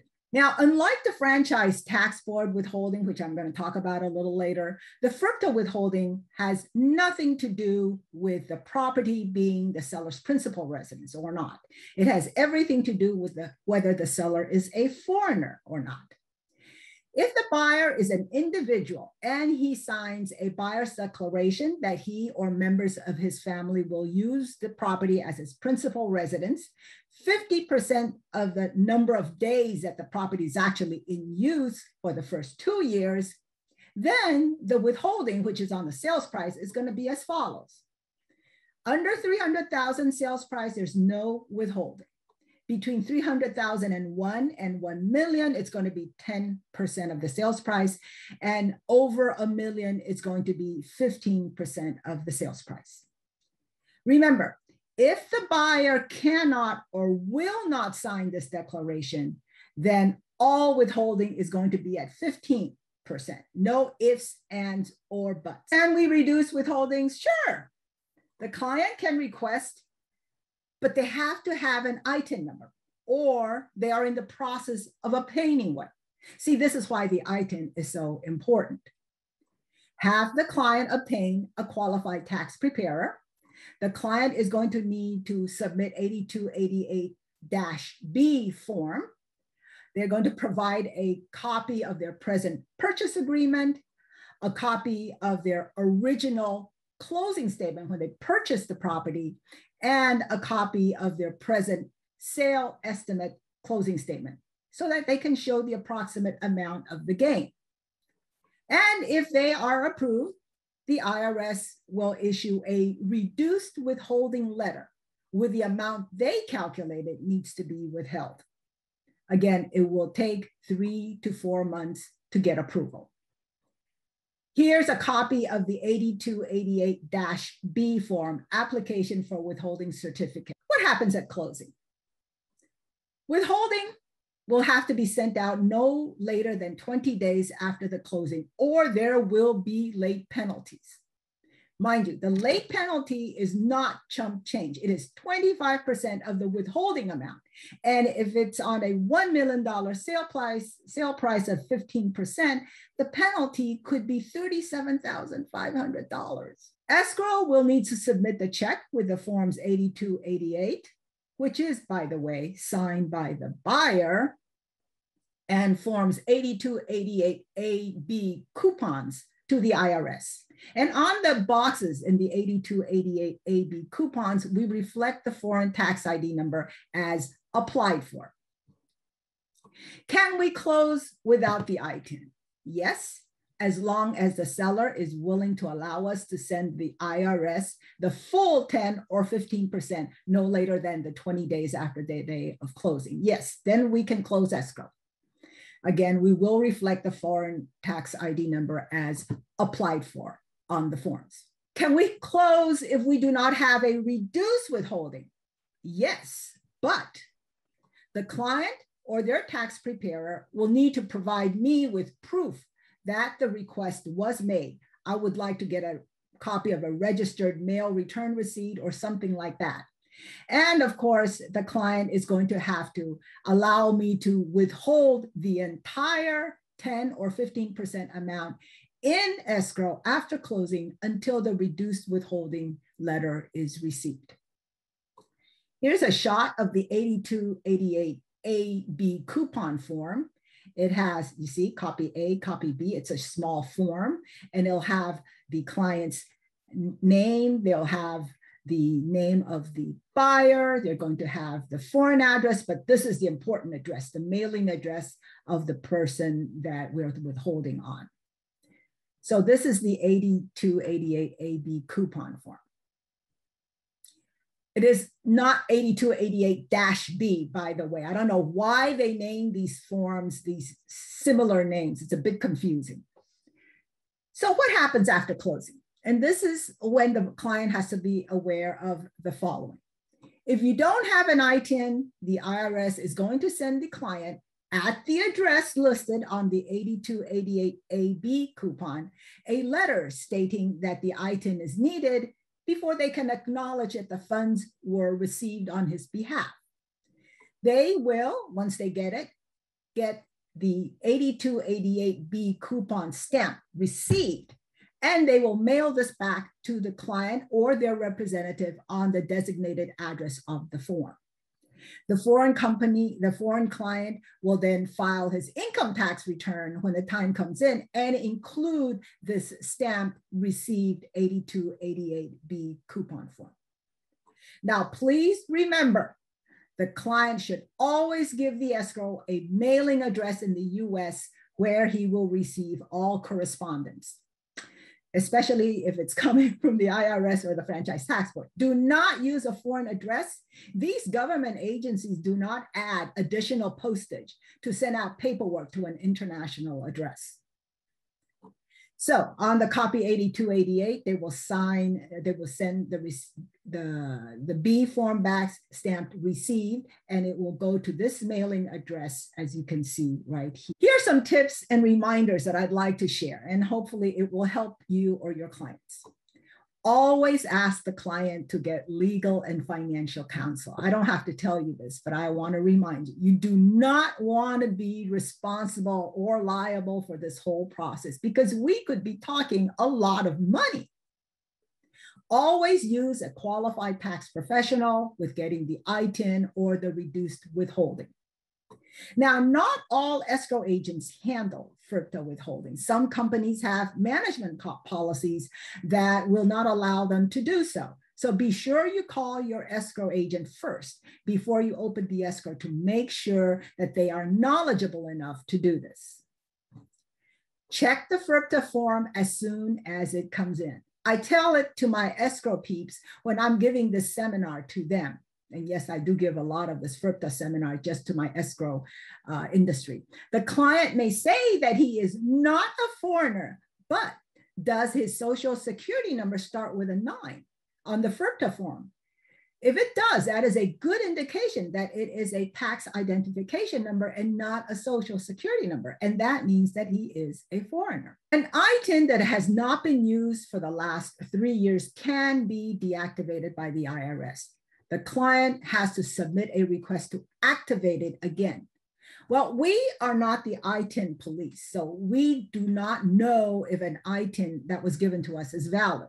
The client themselves should check it because, of course, we do not want to use it to send out their withholding money. And then the client finds out it was deactivated. And now he has to go through a whole process to try to get his money back.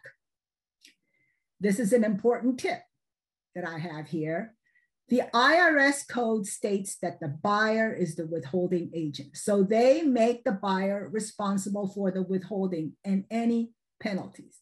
After all, who can go, where can the IRS go to for unpaid tax debt if the seller has already left the country without filing his income taxes on his tax gain?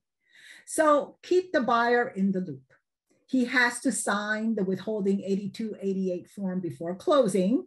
And it's going to be his social security number or tax ID number that is on that form. Now, the withholding, I said, is based on the sales price, not on the profit, not on the gain that they are making on the property. Withholding is required even if the client has no gain or is selling at a loss. This also applies to a short sale transaction in which the sales price is less than what the seller owes and the seller walks away with no money. Well, before he walks away with no money, he has to come in with the withholding amount or he has to submit a reduced withholding amount and then we have to wait before that letter comes back before the transaction can close. This is on a short sale. If the client is a, if the client seller is a couple, the IRS looks at them as two separate persons. Each has to have their own ITIN or social security number. If one of them does not, then they have to withhold on the one that is not, and it's usually at 50% of the sales price. If one is a foreigner and one is not, depending on how they file their income taxes on the property or or some or if they did not file, how about you ask them to do a little advanced planning before they even list the property for sale? The couple should actually deed the property to the non-foreigner so that withholding will be bypassed in the escrow when it opens. Again, you need to ask them to talk to their legal and financial counsel before taking this step. Now, the buyer is very much affected by this whole process, right? To sign a buyer's declaration, the buyer has to be an individual cannot be a corporate entity, and he has to sign under penalty of perjury about using the property as his principal residence. So we asked the buyer to get his own legal counsel regarding signing this declaration under penalty of perjury. And of course, if he has any questions. If a buyer cannot sign this declaration, for instance, if this is a vacant land or commercial property, this is going to be a big red flag, and 15% of the sales price will then need to be withheld. Let me repeat again another tip. I tell all my escrow peeps be sure the foreign seller always, get, always gives a US address for the FIRPTA forms. And finally, I tell my escrow peeps that we need an amendment. Should all this amendment should always be done as a disclosure to all the parties of what will happen with FIRPTA and the 593 withholdings and everybody's roles and responsibilities. Well, due to time limitations, I won't go into detail regarding the California withholding, but it, here it is in general. The California Franchise Tax Board 593 withholding certificate is to be given to every single seller who is selling a piece of property in California. The regulations don't care if you are a foreigner or not. But here's what you have to watch for. The basic withholding is 3.33% of the sales price. The most common exemption is the principal residence exemption. They have to live on it for two out of the last five years. And there are other exemptions that are listed that the seller can use. You check the list on the 593 form that the escrow officer sends out at the opening. It not only includes the exemption for the principal residence, but also for 1031 exchange and whether or not the seller is doing a seller carryback. The foreign seller states that this is his principal residence, but he does not have an ITIN, then withholding must apply the escrow officer has to withhold the full 3.33% of the sales price and mail it in by the 20th day of the month after the closing month.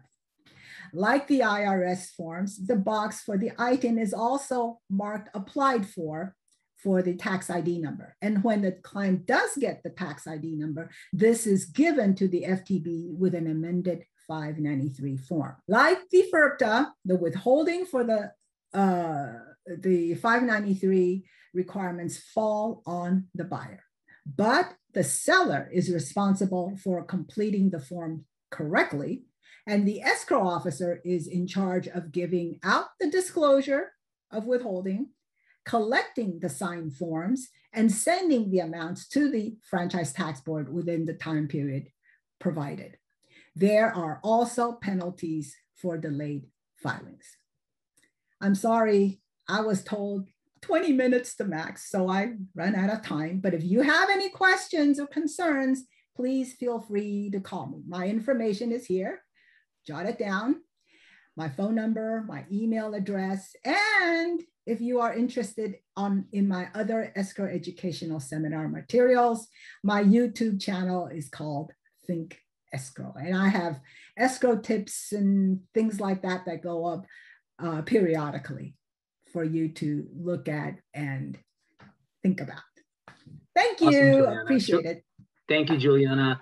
Uh, great information, very comprehensive. Uh, we do have a few questions. I think we'll uh, we'll cover just a couple of them. we have a question from Mr. Frederick Murga. Uh, what about the customer signature from foreign countries?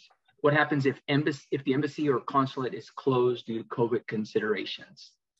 Well, they can try doing the remote online notarization. Now, there's a couple of things that they have to worry about if they're doing a signature for a notarization and the American consulate is not open.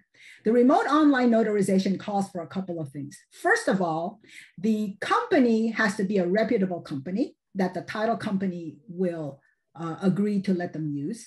This company is going to to check on the client's knowledge-based on the authentication forms, meaning do your clients have any information in the US that they can Google and look and say, oh yes, this is the client. If they don't have uh, what we call KBA, the company will not do it. Secondly, we have to make sure that the title company accepts the notary from that company. And thirdly, that the county recorder's office will accept it.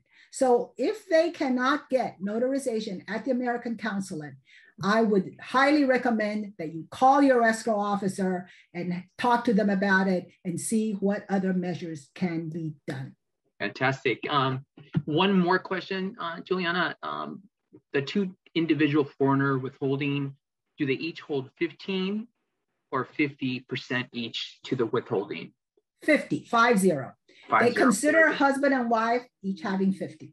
Fantastic, fantastic. So I think um, again, you covered so much that I think uh, I imagine you'll stay on the call for a little longer. So should there be questions from our audience, if they could uh, uh, post them in the chat box uh, or direct, uh, you see the contact information for Ju Juliana on the screen. So please reach out to her. Uh, obviously, she's a wealth of, of information. So Juliana, thank you so much. Appreciate you. Thank you. Appreciate it. Thank you. So our next speaker is uh, Victoria Kajo, Senior Counsel Gordon Rees Scully Mansukhani, LLP. Victoria T. Kajo is a senior counsel in the Los Angeles office of Gordon and Rees and is a member of the construction practice group.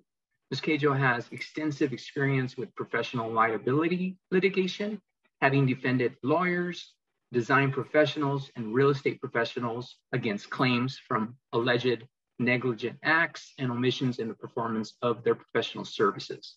Ms. Kajo has broad experience in general civil litigation in matters involving real estate, wrongful foreclosures, labor and employment law, civil rights, fraud, personal injury, breach of contract, immigration law. Ms. Kajo has prepared multiple immigration petitions, including family-based adjustment of status petitions, consular processing, asylum petitions, U visas, battered spouse petitions, waivers, and work-based adjustment of status petitions, including H-1B and PERM applications. She's also handled immigration appeals before the United States Court of Appeals for the Ninth Circuit. Ms. Kajo graduated from the J. Reuben Clark Law School at Brigham Young University with an LLM, Master's in Law in Comparative Law in 2008. She was admitted to the California Bar in 2009 the United States District Court, Central District of California in 2012, and the United States Court of Appeals for the Ninth Circuit in 2012. Please help me welcome Ms. Victoria Kajo. Welcome. Thank you. I am honored to, the, uh, honored to be able to uh, attend this global summit, and I express my appreciation to the organizers for the opportunity to be able to talk about these very important topics. I'm talking about uh, immigration visas and the real estate industry. I believe that these are topics that are very important for real estate professionals who have clients who are foreign nationals and are trying to either immigrate to the United States or to purchase property in the United States. An overview of the things that I will be talking about today are the EB5 program, work visas, and then we're going to uh, very briefly revisit the Trump administration's uh, travel ban and talk about the current status of those bans and what impact, if any, it has on your foreign national um, clients who are trying to either purchase property in the United States or immigrate to the United States. Obviously, immigration law is very broad. Um, there's several aspects of it, different kinds of visas that we're not going to be able to cover in this uh, 30 minutes that I've been assigned. But um, I would provide my um, contact information and I'm happy to answer questions um, uh, that come up after this presentation. So let's jump in. We're gonna start by talking about the EB-5 visa program. The first question that we always get is what is the EB-5? EB-5 program is a program that allows foreign nationals to get a green card or permanent residence for themselves, their spouses, and up to four children. Who are those that can um, get this EB-5? Any business investor who invests in a new commercial enterprise in the United States um, and meets the requirements is able to get an EB-5 visa. There are requirements, as I said. We're gonna talk about what those requirements are. Number one is whatever investment is done must provide employment for at least 10 US workers. There are also minimum investment amounts, which we'll go into in a second. Are different types of investments that qualify for this. And then we're gonna talk about targeted employment area designations. Talking about the investment amounts, the EB5 program have been around for several years. Historically, it was $1 million or $500,000 if you were investing in what is called a targeted employment area or a TAE. Obviously, this is um, not a little bit of money. A million dollars is a lot of money. However, in 2019, the Trump administration passed what they called the EB5 Immigrant Investor Program Modernization Final Rule. And what President Trump did at the time was to raise the minimum amount from 1 million to 1.8 million and from $500,000 to $900,000 if the investor was making the, eh, the investment in a targeted employment area. These amounts made people very angry and very sad because um, it almost doubled the um, investment amounts that were required. It pretty much shut the door to many foreign investors who were interested in coming to the United States to invest. And the second thing that this immigrant invest, investor program modernization final rule did was to say that USCIS will now directly review and determine the designations of how unemployment TAEs and will no longer defer to the TAE designations made by the states and local governments. Let me explain that. Remember how I talked about $500,000 being the minimum amounts that were required if you were investing in a targeted employment area? Historically, the states were allowed to designate what that targeted employment area was. So for example, the state of California would tell you, okay, this is an area we think is rural. It needs people to um, get employment. So if you're investing in this area, you only need to invest $500,000. However, with this rule that Trump passed in 2019, this rule pretty much took that away from the states and put it in the hands of United States Citizenship and Immigration Service, USCIS. So regardless of what the states designated, USCIS was now in charge of designating what a TAE was. So they would tell you if they believe that that area was really a TAE or not. This new rule made several people very uncomfortable, sad, um, and several people complained, and a lawsuit uh, followed. This lawsuit was brought by a company called Behring Regional Center LLC. They filed the lawsuit and basically challenged um, the rule that Trump had passed in November of 2019. The lawsuit has dragged on for several months, but thankfully, on June 22nd, 2021, a judge issued a decision in the case of Behring Regional Center versus Wolf. And that decision pretty much vacated the EB5 Immigrant Investor Program Modernization Final Rule. The judge held that the acting director of DHS, Department of Homeland Security at the time, was not formally acting in his role when he made these changes to the EB5 program.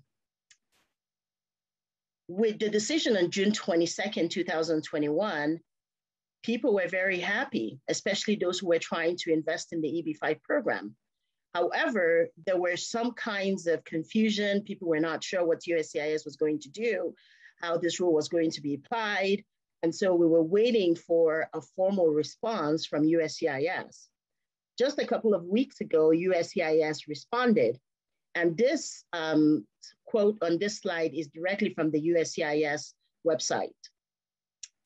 USCIS stated that while they consider this decision, they will continue to apply the EB5 regulations that were in effect before the rule was finalized on November 21, 2019.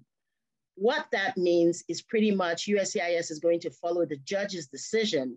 And so the standard amounts that are now required for the EB5 investment programs have reverted back to the original rule, which is a million dollars and $500,000 if you're investing in a TAE. The second thing that the USCIS stated in their response is that um, the state designations, the states will now be able to designate what a TAE is. So pretty much with the decision on June 22nd, the EB5 program has reverted back to what it was before the rule in November of 2019. The next question that we get asked all the time regarding the EB5 is what kinds of investments? What can I invest in? There are two answers to that question. You can invest in what is called a direct investment, or you can invest in a regional center. A direct investment is when an investor either directly invests in a commercial enterprise by himself or with a partner, or he starts a business, or he buys a business. So when you, for example, an investor, a foreign national, takes a million dollars, which is the minimum, and buys a 20% share in a business that is valued at 5 million, that would qualify as a direct investment. What is a regional center? According to the USCIS, an EB5 regional center is an economic or public or private um, in the United States that involved with promoting economical growth. What that means is there are certain companies that basically gather investments from several investors and they invest in different commercial enterprises throughout the United States. So the regional centers could invest in real estate, Sometimes they build houses, sometimes they build hospitals, sometimes they build schools. And a large percentage of the investors who invest and are interested in the EB5 program actually use the regional center investments. This is because it makes it easy. You don't have to worry about employing the 10 US citizens that um, the EB5 program requires because the regional centers pretty much do that for you. They keep your money in escrow, in a trust, and the money is pulled from all the different investors and they manage it and let you and your attorneys know exactly what's happening with your money. So, as high as I would say, probably 95% of those who work with the with the EB5 programs go through regional centers. And we have several regional centers that we work with. Um, obviously, would let you know what it is that they're working on, what the investment projects are, and uh, make sure that you're comfortable with that um, before you proceed. Now, the issue is following the decision, um, the decision uh, on June 22nd only affected the direct investments. The regional centers are governed by statutory authority. With regards to the regional centers, unfortunately, on June 30th, 2021, the statutory authorization for the regional center program expired. Congress did not extend it. They still have not extended it. So basically, no applications for those who are interested in the EB5 program using the regional center is being accepted by CIS right now. All those who were approved using the original center investments, their application is not being currently pro processed until Congress directs USCIS as to what exactly they want to do with this regional center program. So what this means is right now, as we're speaking, and starting from July 1, 2021, any investments in the EB5 program would have to be through direct investments, either through the $1 million or for the $500,000 for a targeted employment area. USCIS, however, stated that they would continue to provide further guidance to the public depending on how the circumstances change.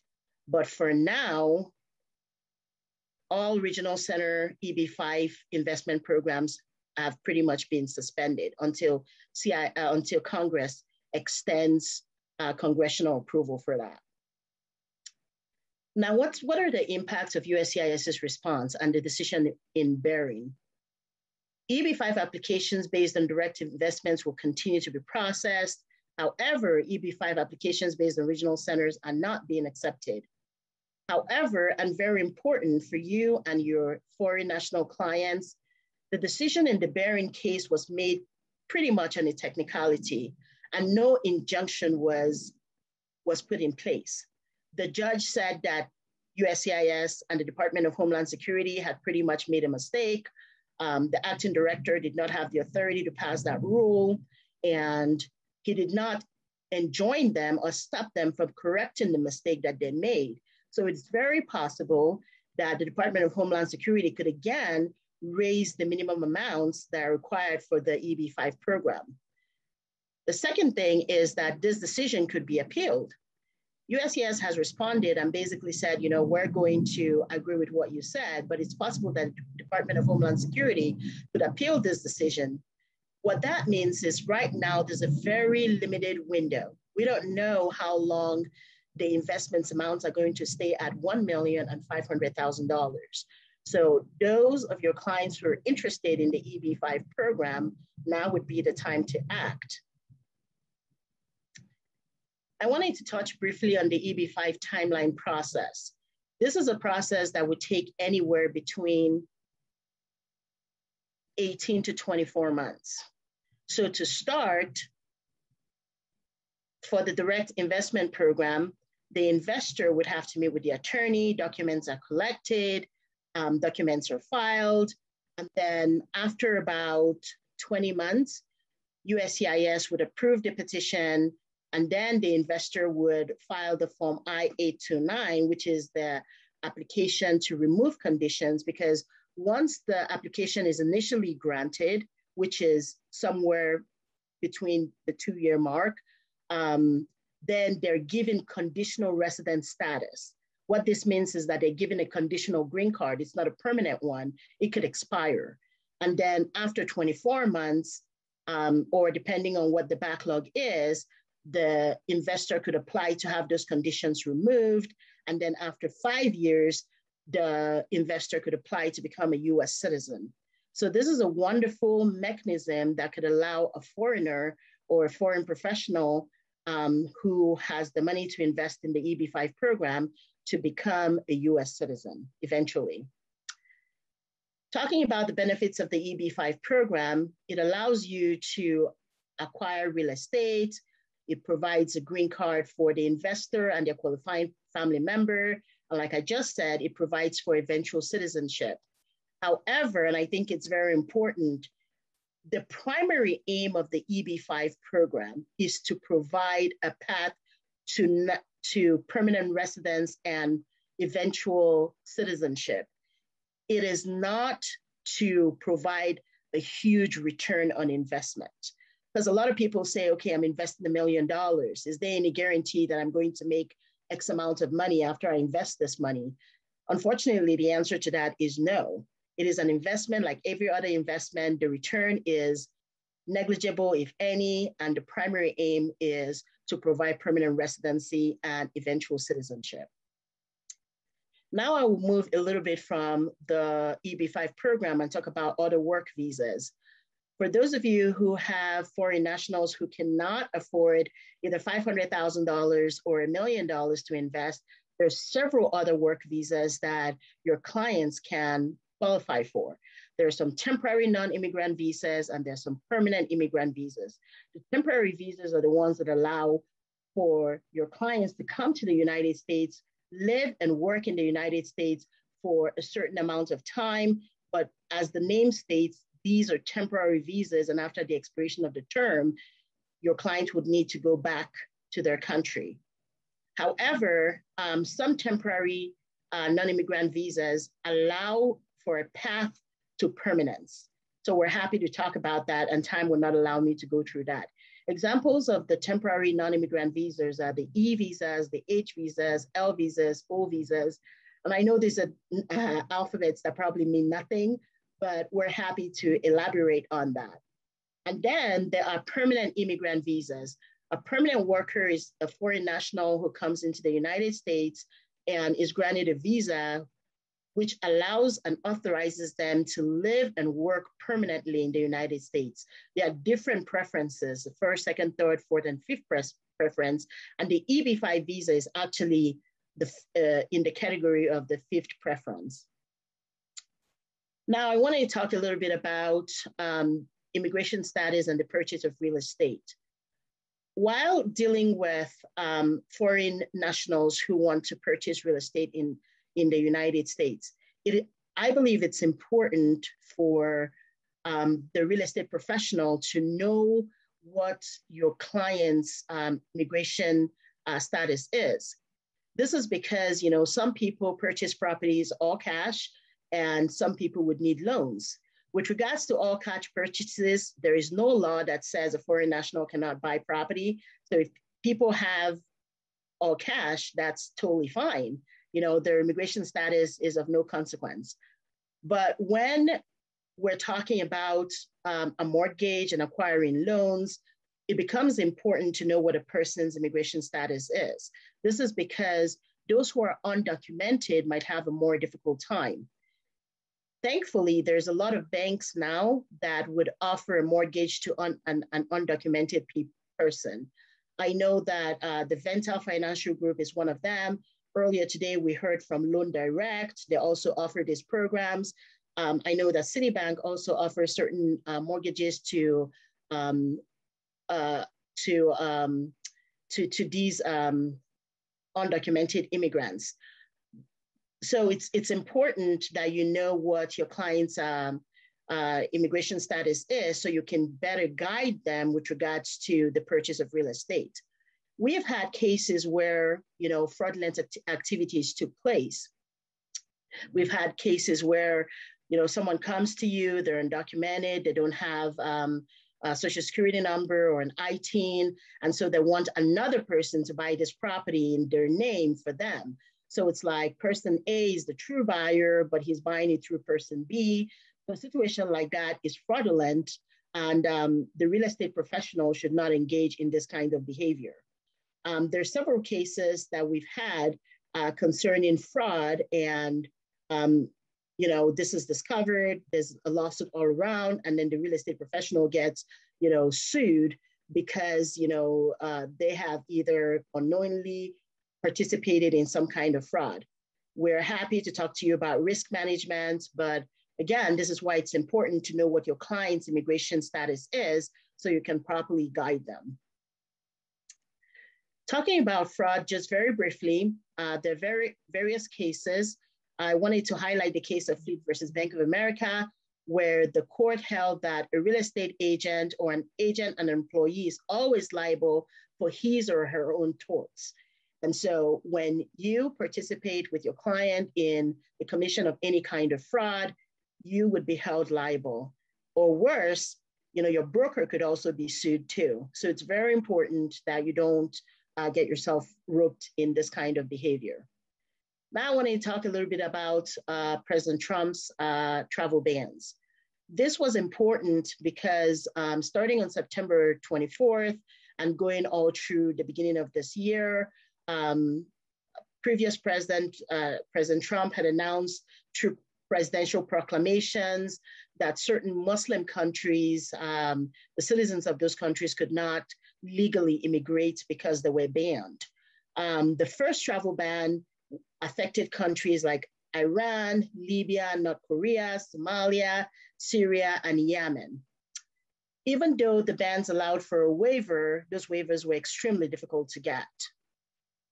On January 31st, 2020, President Trump extended his travel ban to affect also countries like uh, Burma, Eritrea, Kazakhstan, Nigeria, Sudan, and Tanzania. Unlike Travel Ban 3, Travel Ban 4.0 only affected immigrant visas. So temporary workers could still come to the United States. What, it, what is the effect of these travel bans, if any? Basically, what those did was to make it impossible for your foreign nationals from these affected countries to be able to have their visa applications approved. So if you had an investor, for example, who was interested in an EB5 program, it would be not, it, wouldn't make any sense to apply because unless they could get a waiver granted, their visas would be denied at the end of the day because they were banned, just based on the countries from which uh, they came. However, the current status of the travel ban, on January 20, 2021, President Joe Biden signed an order that revoked all of the travel bans. And this is a side it, this is cause for rejoicing and for a good sigh of relief because no country is currently subject to a travel ban. So it doesn't matter where your client is from, as long as they meet the qualifications to have their visas approved, their applications will be approved. They're not subject to any travel bans currently. I am so grateful for the time I've had to be able to share with you just very briefly on immigration visas and the real estate industry. I'm happy to take questions if you have any. Thank you so much, uh, Ms. Kajo. Uh, we do have, uh, obviously you covered a whole bunch, but let me, let me, let me see. I have a, a couple questions.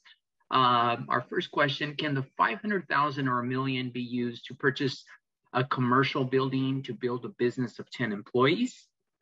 Correct, yes. Um, one of the questions we get is, what if I buy a house that's worth a million dollars? obviously, a primary residence where you and your family would live would not provide employment for 10 US employee, uh, US citizens. So that would not qualify. But yes, a commercial building, you would have to obviously fill out a bunch of paperwork, show what the business is, the employment that it's going to provide, and all of that. And that's what your lawyer guides you through. So we're happy to help you. But yes, that's a possibility. Now, with MSK with regards you talked about um, the, the risk management, but generally speaking, best practices for real estate professionals, both you know lenders and realtors alike. Um, what um, can they reach out to you uh, for your services and uh, and get that type of guidance, or even even uh, you know again just guidelines that they can continue to follow, such as what you've uh, provided on the on the slides today? Yes, my contact information is down there. That is my cell phone number. It comes directly to me. Fantastic. We are happy to answer questions every anytime. You can text, email, call me. Um, we, we one of the services we also provide is we go into brokerages and we educate uh, real estate professionals as wow. to um, you know certain pitfalls that they should try to avoid. So yes, I'm very happy to talk to you I have uh, defended a lot of uh, real estate agents from, um, you know, uh, lawsuits alleging negligence under errors and omissions. So yes, we're, we're very um, experienced in this area and happy to provide the service. Clearly, yeah, your, your credentials speak for themselves and, and clearly the information you provided. I do have a follow-up to that first question. Um, do all the 10 employees have to be US citizens? Yes. They do, okay. They okay, do. so that, that is an important topic. So wonderful, um, Ms. Kajo. I really, really appreciate you taking uh, your time you have, you know, being so generous with it. I'm sure you're plenty busy, but obviously we we are big uh, proponents of, of, of uh, having the information to empower us all. And, and obviously the global market is an important market. So we, we thank you so, so much for, uh, for joining us today. I appreciate the opportunity. Thank you so much. And please let me know if there's any other way I can help. Fantastic. Thank you again, Ms. Kajo. Have a nice one. Um, perfect. So once again, we'd like to thank both of our speakers, Ms. Juliana Tu and uh, Ms. Victoria Kajo for this great panel they've provided us.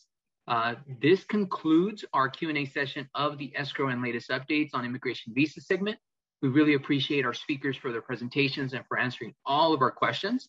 A big thank you also uh, to our sponsors as well, and we'll make their information available it's important. Again, we support them and uh, they've been very kind to support us. So um, now I'd like to give the floor to Tom Tsang, who will be introducing our next panelist, who will be speaking about the global investment trends in several, several countries. Uh, Tom, please take it away. Thank you, Mauricio. My name is Tom Tsang. I'm the 2021 Vice Chair of Global Business Council. In the next session, I'll be introducing the next speakers. They represent our NAR global coordinators from most part of the world. Our first speaker is Mark Kitabayashi. Mark has been a realtor for 21 years in Washington state and is involved in many aspects of real estate, including association leadership, local jurisdiction, and global instructor presenter. His primary business are residential, new construction, foreclosure, and global investment. His NAR designations include Certified uh, Investment Property Manager, Certified Residential Specialist, accredited buyer representative, At Home with Diversity, uh, Resort and Second Home Property Specialist, Pricing Strategy Advisor, Short Sale and Foreclosure Resources, Senior Special Real Estate uh, Specialist, as well as ASP, CSP, C2EX, ePro, Green NRP, and much more. Mark has been president of Thurston County Realtors since 2006 and again in 2010. He is currently for our 2021 NAR Global Coordinator for Asia Pacific region. He also hosted CRS content workshop seminar provider for national and global level. Our NAR National Global and Instructor for Code of Ethics, Certified in Special Property Specialist, at home with diversity and ABR, etc. Now, without further ado, let's welcome our guest speaker, Mark Kitabayashi, for his presentation on Asia Pacific market. Thank you. Thank you, Tom. Uh, good morning, everyone. I know that uh, today uh, we have a three out of the five uh, regional coordinator for NAR. So I will start. So let me go through with what our region is. As you know, this I mean we have a very limited time but we'll go through it fairly quickly. Now that you learn all the technical details about the investor, and I'm going to look at it in a couple of different phases. So first one will be just the facts about our region. My region is Asia Pacific. That's including from a, I guess the east from Japan, Korea side to all the way to uh, India and to below, uh, below means Southern Hemisphere to New Zealand, Australia. So facts about our region, one thing is we have over 50% of the world population. Worldwide is 7.88 billion. The US, just for information, is about 330 million. And we have, of course, China and India, who's over a billion. And a lot of people didn't know that Indonesia is a lot. Indonesia, Pakistan is a very large country. Even uh, Bangladesh is a large country. Japan has 128 million. And also, when you from the World Bank statistics, ease of doing business, we have the top three, actually top uh, five, uh, four out of five uh, New Zealand being one of them, Singapore being one of them. Number three is Hong Kong, and number five, South Korea. And just for information, Denmark is now number four, and uh, US is number six. This is per World Bank. And there's very detail oriented why they consider us a ease of business. Uh, you could you could look it up on the World Bank site as well. And as most of you know, and I think most of you are familiar as well, it is still the fastest growing uh, economic growth. Asia to stay world's fastest growing region through 2030. Uh, this is from many newspapers from Diplomat, New York Times, and everything else. And one of the things is within the region, we are one of the most variety of languages and a culture with very different cultures within a one region as well. And I'm sure you learned this if you have taken a CIPS class, you have learned that as well. But if you have not taken CIPS class, I highly recommend you to take a CIPS class that NAR offered, even if you're only doing an in, inbound uh, to uh, LA, uh, LA and Southern California area. So a couple fun facts about our region. Number one, three consecutive Olympics in our region. We have the Pyeongchang, uh, which is the Winter uh, Winter Olympics in Korea 2018. Of course, Tokyo 2020, 21, however you want to call it. It's happening right now and for last few days. And we have the Beijing Olympic coming up in 2022, which is uh, which is uh, which is in in China. And uh, most of you know, uh, LA is hosting 2024. Last time LA first hosted was, I think, uh, I believe it was the 1984 Olympics, and I happened to be living in LA at that time. Um, uh, I was uh, grown in grown South, Southern California. I even lived in the San Gabriel area as well. For a lot of you, uh, that's from that association. And a couple, couple other things. Indonesia is the largest Islam Muslim country in the world. Some people feel the some parts of the Middle East are the largest. Actually, the number one is uh, Indonesia, and number two is Pakistan. 227 million out of 276 population, Pakistan 204 out of 225. And other fun facts, we have the world's longest commercial flight. Commercial means the, uh, the flights that we take, non-stop flights.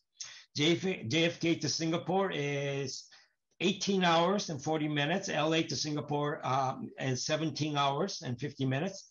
And, and just for comparison, LA to JFK is about uh, five hours, 11 minutes, on about 2,400 square, uh, 20, 2,400 miles. So these are some fun facts about our region.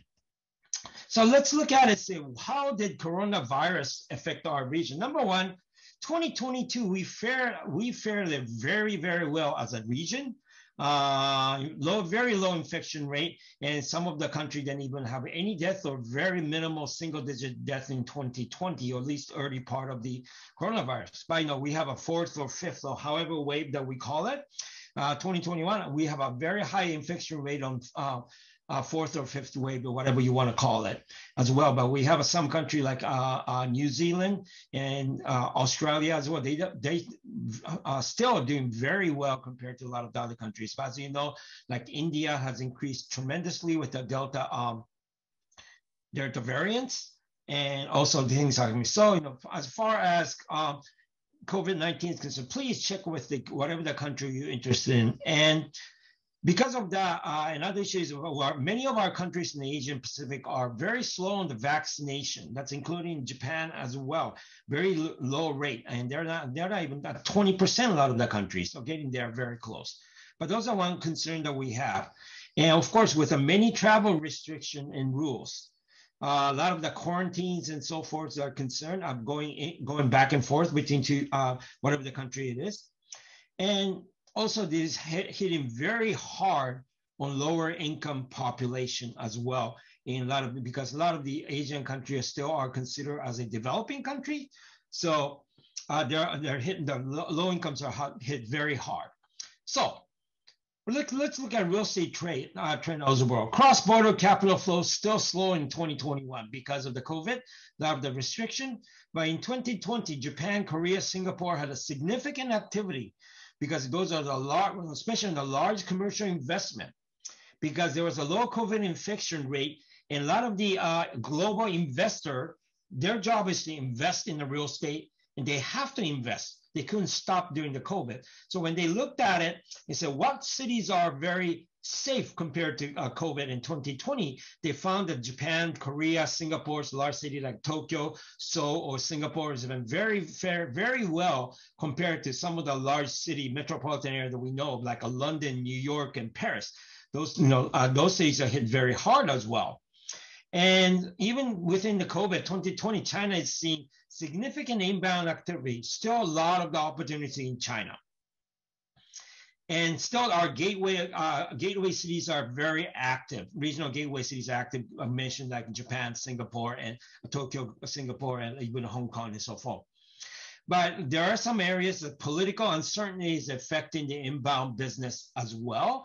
And whether it's a very large issue like we have in Myanmar uh, with a type of coup d'etat or the internal uh, conflict, or some of the uh, political uh, ideologies or the, the leadership that they have uh, within uh, within the countries. Uh, that could be be some concern for them.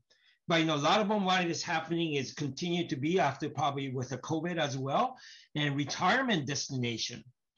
And a lot of the country has a special retirement visa for foreigners with a certain country, very low cost of living, and, and they have a special visa program as well.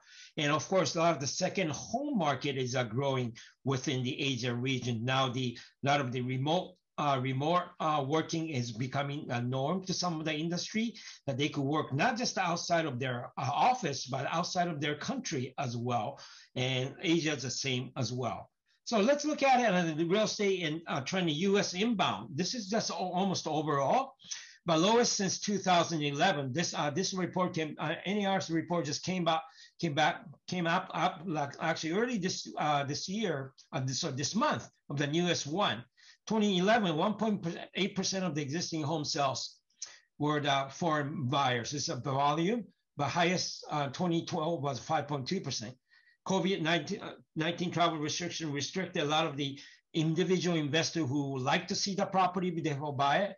Of course uh, that slowed down in the individual vo uh, volume. And of course, our lack of inventory in the United States has slowed down the investment coming in as well. Top in, five inbound volume is coming, still coming from China, Canada, Mexico, India, and UK. So two of the top three, uh, five countries in Asia as well. And top five US destination is Florida, uh, California, Texas, Arizona, New Jersey, New York. And China still is the number one in volume, but falls to number three in unit purchases. So meaning the Chinese people are still buying a lot of the expensive property. So I know that China is one of the largest investor in the United States. So I want to look a little bit about the China, what they're doing right now. These are real estate uh, trends from China. This information was provided by the Juwai.com, which is the largest uh, real estate uh, uh website, uh, business to consumer website in China. So from there, they, they saw the top inquiries are Thailand, US, Australia, Canada, and UK. And top US cities were Los Angeles, Seattle, Orlando, Houston, New York, San Francisco, Irvine, California, Dallas, Boston, San Jose, etc. And we're looking at it as a we're looking at the potential as a Chinese investor. Number one is by 2025, there will most likely be 6 million high net worth Chinese. And basically, high net worth Chinese are not just the uh, million millionaires and all, but it's a lot higher than that as well. They're on uh, four or five uh, multiple properties in uh, overseas already. In 2025, 720 million people will be considered as a middle class. That's a larger than most of the country when you consider that uh, US's population is about 330. There's two times more of US population who's going to be middle class and potentially becoming an investor as well. In 2022, and 57 million is going to be affluent uh, Chinese, meaning that they are able to own, they own a property, one to two properties outside the United States. So China is to be looked at. And as when we look at in many different countries in the Asia, the inbound activities hopefully will pick up uh, starting 2022 when the COVID items are uh, better. And I hear from the, uh, you know, when you look at like a convention coming to US, a lot of our foreign investor from Asia say, you know what, I'm, I'd love to go to US, but if when I come back, there's a strict quarantine regulation in many of the country from 14 to 10 days to whatever it might be. So they say, you know, I can't be in a, under strict quarantine when I come back. So I'm still going to pause the show.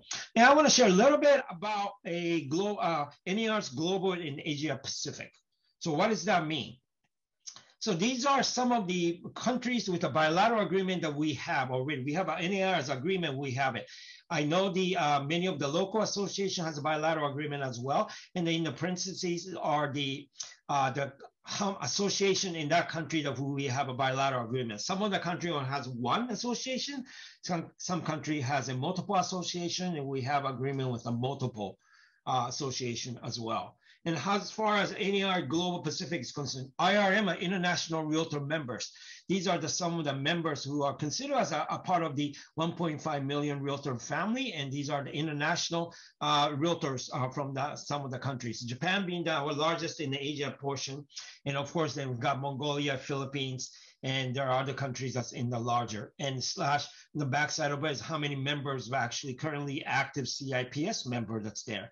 So please, uh, if you're looking to reach out to these places, uh, you are able to use a network that NAR has as well.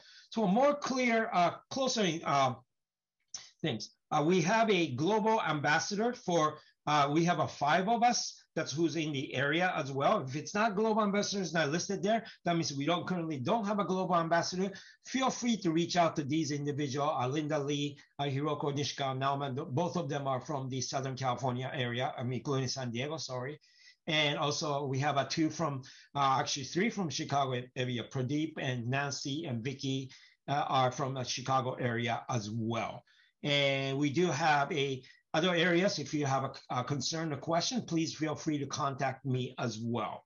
And finally, a NAR assigns by request of a local or state association has been assigned as a ambassador association to some of the Asian country.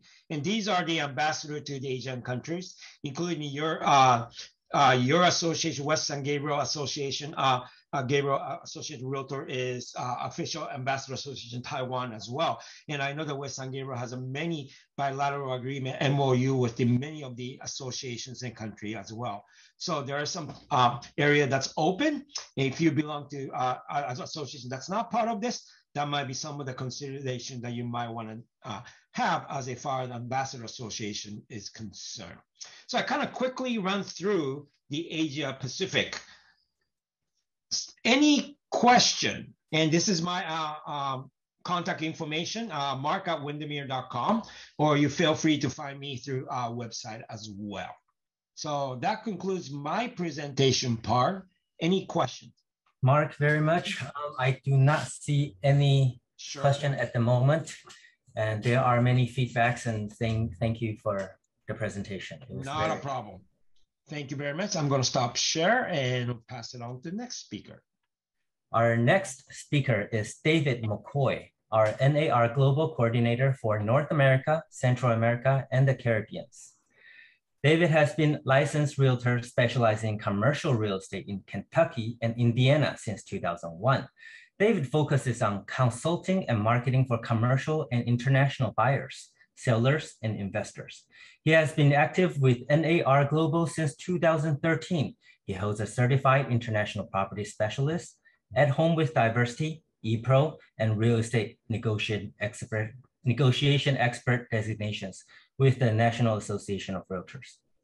David has spoken at real estate conferences in Jamaica, the Dominican Republic, and in the USA. David has been an active member of his local real estate association since 2001. He has an MBA from the University of Texas at Austin and a BS program, uh, a BS, Bachelor of Science from Vanderbilt University, in addition to NAR Global. David has done volunteer work with the National Immigrant, Immigrant Justice Center, WaterStep, the University at the United Way, and the University of Texas. Let's give a warm welcome to our NAR Global Coordinator, David McCoy, for his presentation on North, Central America, and the Caribbean. Thank you. Uh, thank you, Tom. Um, uh, I didn't bring any slides. I decided I would just kind of talk about cer certain topics. Uh, it's a pleasure to be here with you all. I appreciate the invitation. Um, I think that uh, the timing of this was lucky. Uh, we had, um, which it, it's also very hard to follow Mark. Uh, Mark is always super organized and, and he's super smart. And so I always feel like he's a little bit up here. I have I have to shoot high to try to follow Mark but uh, just to kind of, um, we were lucky in that um, NAR produces, I think many of you all are aware of this, but NAR does an annual uh, international real estate investment in the US for residential uh, real estate. They do a report on that every year. That has been released within the last couple of weeks. Um, following that, uh, within the last week or so, NAR sponsored a uh, global uh, real estate forecast summit um, many of y'all may have participated in that. We had about 2,000 people participate. Uh, and uh, so that uh, we had uh, um, Lawrence Yun, uh, the chief economist of uh, NAR, presented. We also had George Chmiel, who is um, he, I, he, I'm not sure if he's CEO, but he is with uh, Juwai. we had um, the uh, Canadian Real Estate Association, Sean uh, Cathcart, and we had someone from Australia, uh, Nerida Conisbee, who presented. So all this information is is new. Uh, so it's pretty up to date. And um, I am going to be borrowing some facts from them. Uh, I, as I said, I don't have slides. If we want to, I can give you the link when we're done here in the chat uh, that has the recording of that summit, and it also has all the slides um, that they used. So um, uh, a little bit more about me. Uh, as I said, uh, I am the global coordinator for North America, uh, the Caribbean, and um, Central America. I've been working with NAR for about eight years now. Um, I have in my region, I think we have 14 countries right now. Uh, and uh, so we have a diverse group of people. I have three great uh, global ambassadors that work with me um, in, this area. So uh, I am luckier than Mark in that we basically only have two languages. We only have to to English and Spanish. Um, there are a few other languages in there, but if you know English and Spanish, you can pretty much do uh, pretty well. Um, so uh, let's uh, so kind of what I have in mind here is um, uh, I'm going to kind of kind of giving you a little bit of a roadmap. I'm going to just kind of briefly touch because it can, you know, we will run out of time, but I'm going to talk a little bit about the global situation. I'm going to talk a little bit about the US. I'm going to talk a little bit about my region. Uh, and um, we'll just kind of follow that path so to, to kind of help you follow along. And of course, uh, hopefully, uh, I expect to have time for questions if there are any uh, when we're um, done. So uh, let's let's uh, jump right into it. So from a global perspective, and uh, some of this stuff you all I know is sort of obvious, but we're going to just kind of mention it anyway. The the big event, of course, for 2020 was the COVID. Um, and I would say that the big event for 2021 and 2022 is the vaccine. Um, it is, we are beginning to have a recovery worldwide. In 2020, there were very few countries, there were only a handful of countries that had a positive um, net economic growth by the end of the year.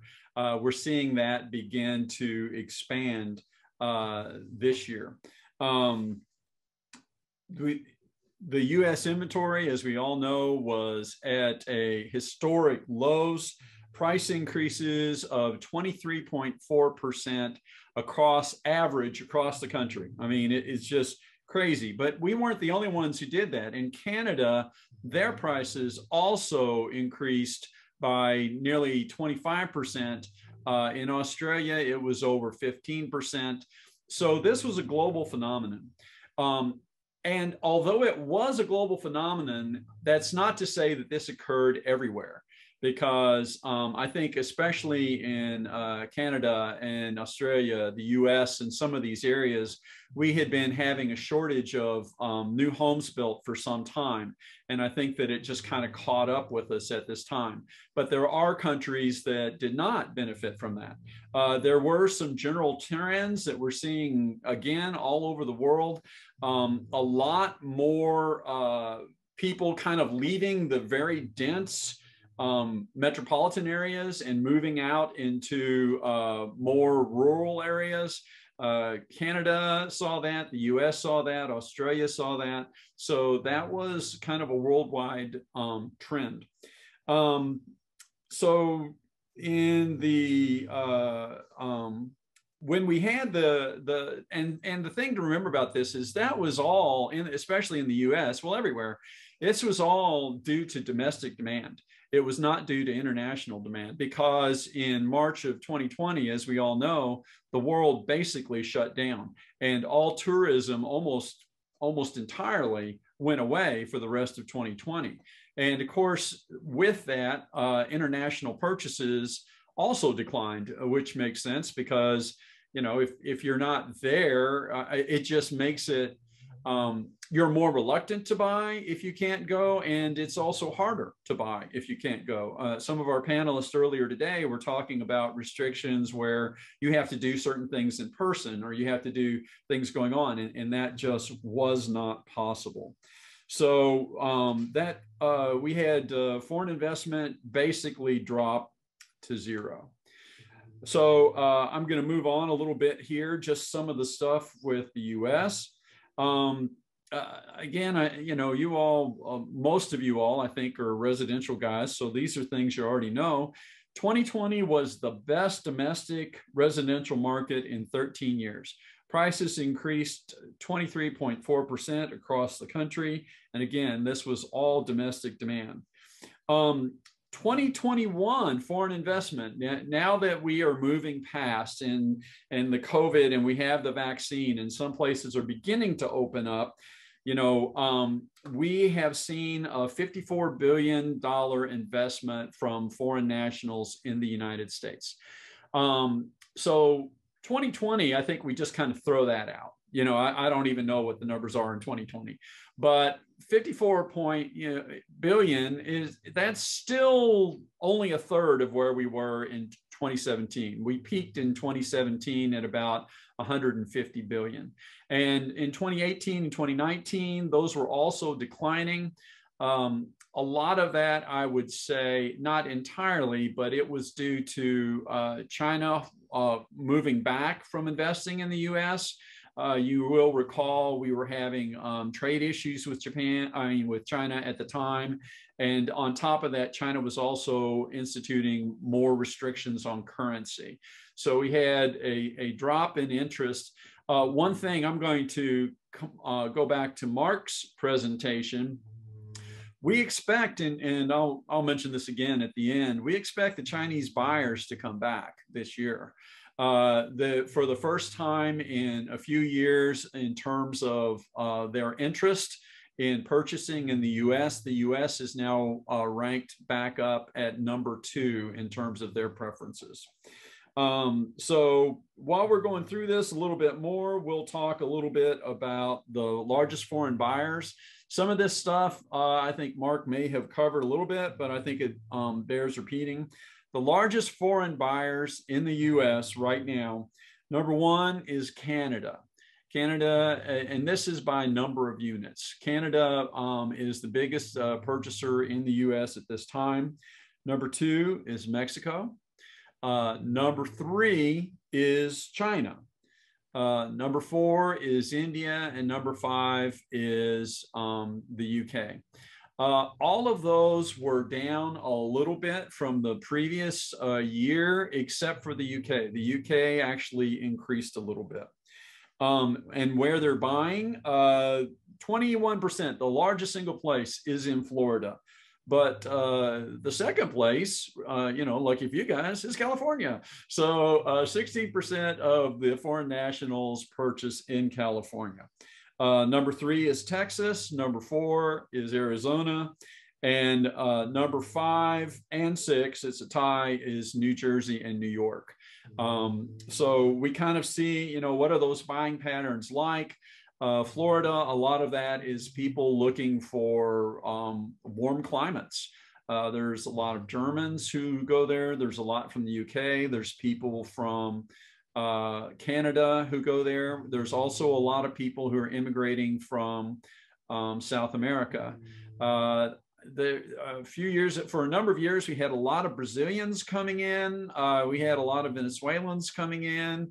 Um, obviously, there's a big Cuban population in uh, Florida, so um, Florida gets those groups.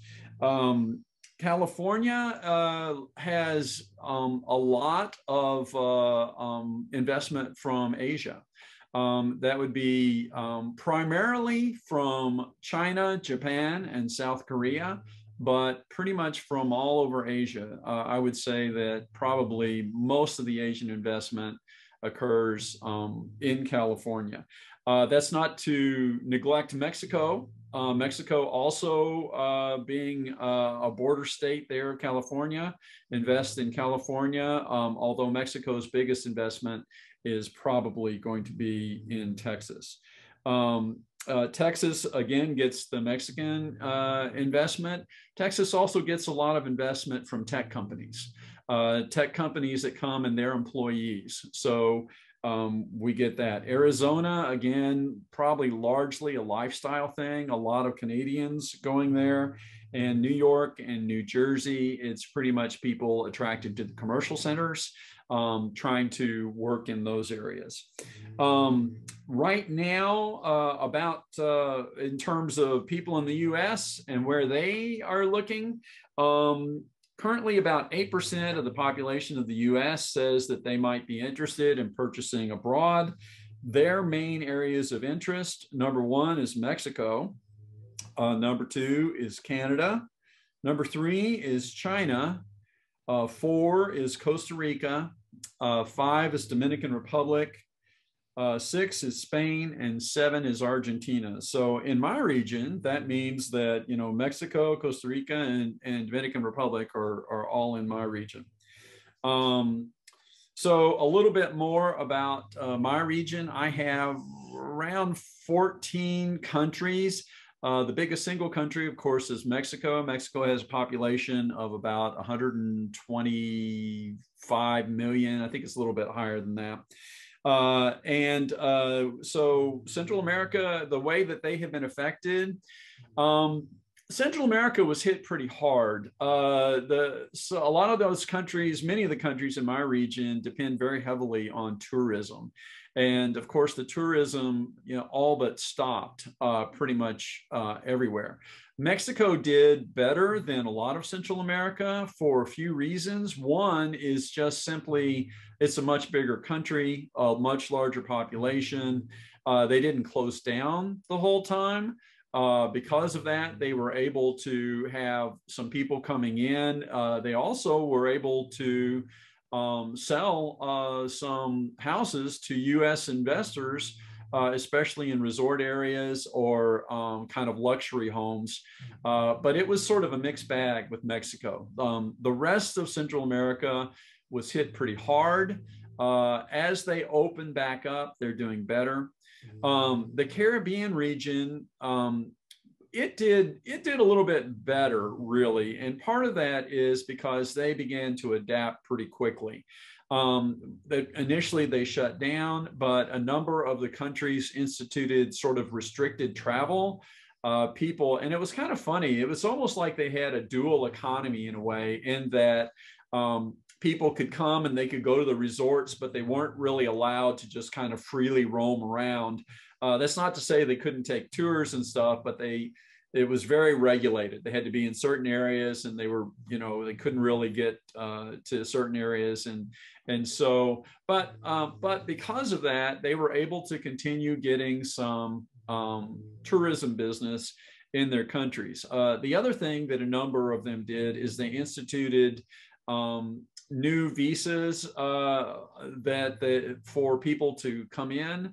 Um, some of that was kind of oriented toward um, uh, digital nomads so that people who maybe you know didn't want to you know sit at home they they might buy a home or lease a home in uh, the caribbean and they could stay there for an extended period of time and and work um, from there.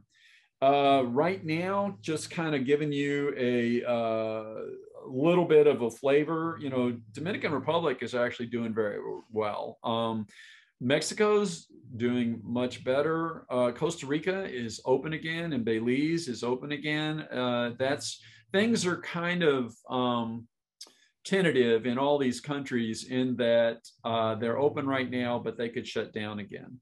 Uh, so, but the places that have been more open have been doing much better. Uh, Bahamas is improving. Jamaica is improving.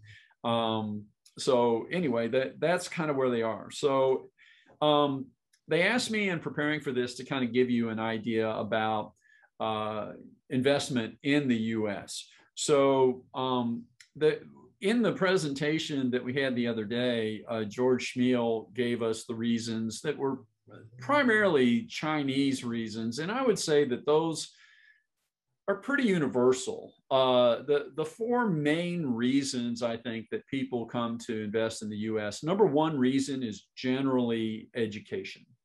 Um, we have people all over, and people in the Caribbean, uh, people who are more affluent, they are more likely to send their kids to college in the US. And so they often prefer to buy them a home and let them live in that home while they are there. Um, the second reason is investment. You know, the, the US is still considered one of the safest areas in the world to put money and invest in money.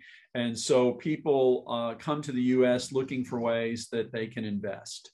Um, number three is probably lifestyle, uh, which, you know, kind of getting back to our Canadian friends and I mean, and the Germans and the people in the UK. I mean, their winters are cold. They are super, super cold.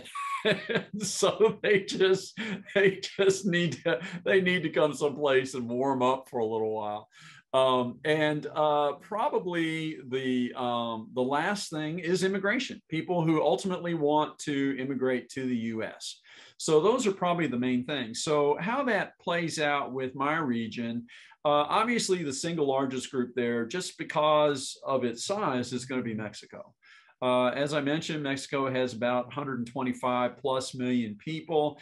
It's um, I don't know if it's second or third largest economy in the Western Hemisphere right now. The uh, one, two, and three are U.S., uh, Brazil, and Mexico, and Mexico may be above Brazil right now. So um, I don't know, you know, not, I don't know, uh, in California, you all maybe, uh, you know, you're close enough to California, I mean, to Mexico that you probably uh, are aware of this, but a lot of people, I think, in the US don't understand that um, Mexico is not just a small economy. It's not a, it's not really a third world country.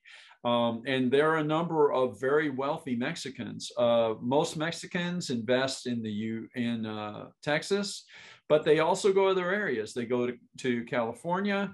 Um, they go to Colorado. Um, that, that's kind of a, I think Colorado was number two or three in terms of where they went and they they it's another lifestyle thing they they like uh, investing in like um, wealthy mexicans in ski properties uh, so um, you know that's that's one thing that uh, um, makes a lot of sense so um, anyway uh, one of the things they uh, asked about, you know, um, they asked me to talk about was what kind of barriers are there to investment for you all to kind of know that? And it just so happens that NAR asked that question um, to to our uh, uh, people who potentially invest and then don't.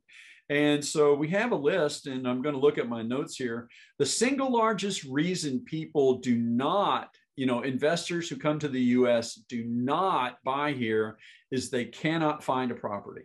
It's lack of inventory. They're looking and they have not found what they were able to do. Um, the second reason given is the cost of the properties. Um, and I, am just, I, I kind of hate to do this, but I'm just going to kind of read through the list and then we'll make some comments.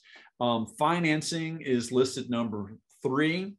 Uh, immigration laws, um, property taxes, uh, they can't move their money, um, condo or maintenance fees, uh, insurance cost, US uh, tax laws, uh, exchange rates, and loss of home country benefits. Now, uh, this is available on some of those slides from the global um, summit that we did uh, with NAR last week. Um, but I guess what I want you to do is just kind of think about that. I mean, some of the people um, I don't know how many of y'all have had the pleasure of meeting uh, Carla Raymond Kidd, but Carla is sort of my mentor. And uh, Carla has set up something. She, you know, she has a team of people. Um, she has, you know, she handles real estate, but she also has accountants who work with her. She has attorneys who work with her. She has lenders who work with her so that when they are dealing, they're trying to anticipate these kinds of problems. That's a really good way. And so, you know, it's, you know, the, these guys at this conference that you spoke to earlier today, you know, if you don't have those things kind of lined up, that's a way that you can possibly avoid some headaches in the future. You know, MoneyCorp, you know, one of the things was we can't move money or the exchange rate. That's what MoneyCorp does. You know, we can't get financing. You know, you have these guys, it, it is difficult. It's more challenging to get financing for international purchasers. So if you have people who know how to do that, that's important to do. You know, um, so you kind of anticipate the headaches that they have. Um, one of the other things I'm going to mention, uh, just kind of briefly, a couple of things is this isn't so much a barrier to their investment as it is um, a barrier to working with them. And that is, you have to think about um, their language. Um, if at all possible, most people are going to prefer to do business in their language. I'm not saying that you can't do it. I'm not saying that it's impossible, but I am saying that you should think about that, especially if you are marketing to that group. If you're trying to market to that group, you want to try to do marketing in their language. And you also want someone who is a native from those areas to review it and make sure that it's saying what it is you want to say. Um, another thing to think about is sort of availability. So um, uh, George Chmiel mentioned this as well, and that is you know, just getting on the internet, I think we kind of take for granted that we can put stuff on the internet and that it is, you know, covered. But that's not necessarily true. You have to put it places where people can find it. And so you need to think about that when you're marketing to these groups. Um, and, and this isn't in my group, but for instance, in China, of course, there's a big firewall. And so just putting stuff on our internet will not get seen over there. You have to make sure that you're on that side. So um, I'm going to do a quick wrap up. I've probably been running long, uh, sort of the 2022 outlook that we were given. The global economy is expected to grow at 3.5%. Uh, the US economy is expected to grow at 3.2%. We expect to see more housing starts. They're expecting to see 1.68 million housing starts in 2022. Uh, price appreciation of homes is expected to slow to a, to a moderate, more 3.1%. And maybe the biggest single thing, which we mentioned a little bit further, that in terms of international um, real estate sales, is the return of China to our market. So um, I'm going to kind of end abruptly. those are my notes. I just kind of threw things together, things that were on my mind. Uh, I'm happy to answer any questions, or um, I don't know where we are on time, but uh, I'm happy to answer any questions if I can. Thank you for having me. Thank you very much, David. Currently, I do not see any questions in the chat box, but if you do have any questions, please type them in the chat box. And uh, David, if you could please stay for the next 10 minutes and hopefully we can answer in the, in the chat box. I will. Thank you very much. Thank you very much. And the, our next speaker is Liana Bogaert, our NAR Global Coordinator for South America. She is a broker associate at Remax Affinity Plus in Marco Island, Florida. After getting her license in 2010, she obtained her first NAR CIPS designation in the summer of 2010. Since then, she has been involved and as part of the NAR Global Business and Alliances and serving since 2002. She is NAR faculty member instructor for the CIPS, ABR, and SRS designations. She's a member of NAR Global Business Alliance Advisory Board, Global Business Alliance Committee member, and uh, 2020 president of Marco Island Area Association of Realtors, and 2021 Florida Realtors Global Council member, among others. In 2005, Ileana moved to the USA and settled in Marco Island, Florida, and decided to get her real estate license in 2010. Since then, she has been involved in the international real estate. After extensive traveling and living abroad, she relates and understands the importance of international business culture. She easily connects with her international customer base and enjoys working with foreign buyers. sellers, and investors to help them achieve their real estate dreams. She's fluent in English, Spanish, and Portuguese. She has lived in Mexico, New York, Ohio, Brazil, and born and raised in Merida, Yucatan, Mexico. Let's welcome our South America NAR Global Coordinators, Iliana Bogaert. Thank you, Tom. Thank you very much for uh, for the invitation. Thank you, the, uh, the West Valley San, San Gabriel Valley Association of Realtors. It's a pleasure to be here. It's very exciting, all this communication, all this information that we have received. It's going to be very hard following up with uh, Mark and also uh, David with all this detailed information. But I'm just going to, uh, if you allow me, I'm going to share um, the screen. Okay. Well, I'm going to, after all, all these detailed information, so I'm going to be more uh, brief and we're going to be uh, pretty much summarize uh, the things that has been said uh, in my region. I'm the global coordinator for uh, South America. Um, we have, as you know, as they have mentioned, we have our, this is our team. Uh, this is the region that I oversee. We have uh, eight countries and we have worked with my glo uh, three global ambassadors with Emika Kasi, that she has Argentina, Paraguay, and Uruguay, which is the South Cone, South America. Uh, Gonzalo, which oversees Peru and Ecuador. And Larry Cibechi, who oversees um, Brazil and um, Colombia and obviously our staff uh, director, uh, which is Alejandro Escudero and Betsy Sachs why would we do this? Uh, and it's very important that we uh, know that these uh, um, tools are your uh, for you to take advantage and grow your business, right? So we know that NAR, as Mark mentioned and as uh, David mentioned, we have more than a um, partnership, cooperating associations in more than 72 countries. 100 organizations that they only NAR only those uh, alliances, partnership with countries that they have a similar uh, code of ethics, right? So that way you feel comfortable uh, referring uh, your customers to, to them so they can be treated as well as you treated here in the United States we actually are uh, the, the, message that we're sending is the power of the realtor brand. We want to grow the uh, the membership globally because that way we can build that bridge uh, where we can actually have that connection that we can actually do business from realtor to realtor so we are all working that's our goal that's our uh, global coordinators global ambassadors that's the mission that we share and we would like to provide this information to to you here in, the us that to use to get to know what you, you have at your um, disposal so you can actually connect and use it and be feel be more comfortable. These are the associations, the cooperating associations. Again, these are the countries where we are located. These are the uh, partnerships, uh, strategic partners that we have in, the, uh, in these countries.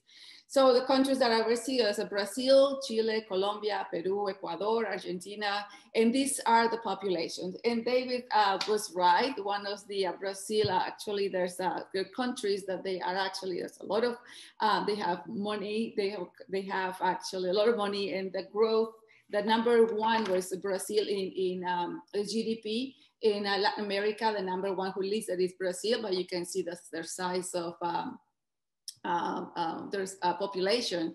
Uh, Mexico have 120 million um, um, populations, and Brazil have 212 million. So it's, it's a different, but yes, it is significant. Number three is Argentina, Colombia, Chile, Peru, and, Equ and Ecuador. And uh, we have talked about this, the report that uh, David mentioned about it was just released a couple weeks ago that we have a $54 billion in foreign investment.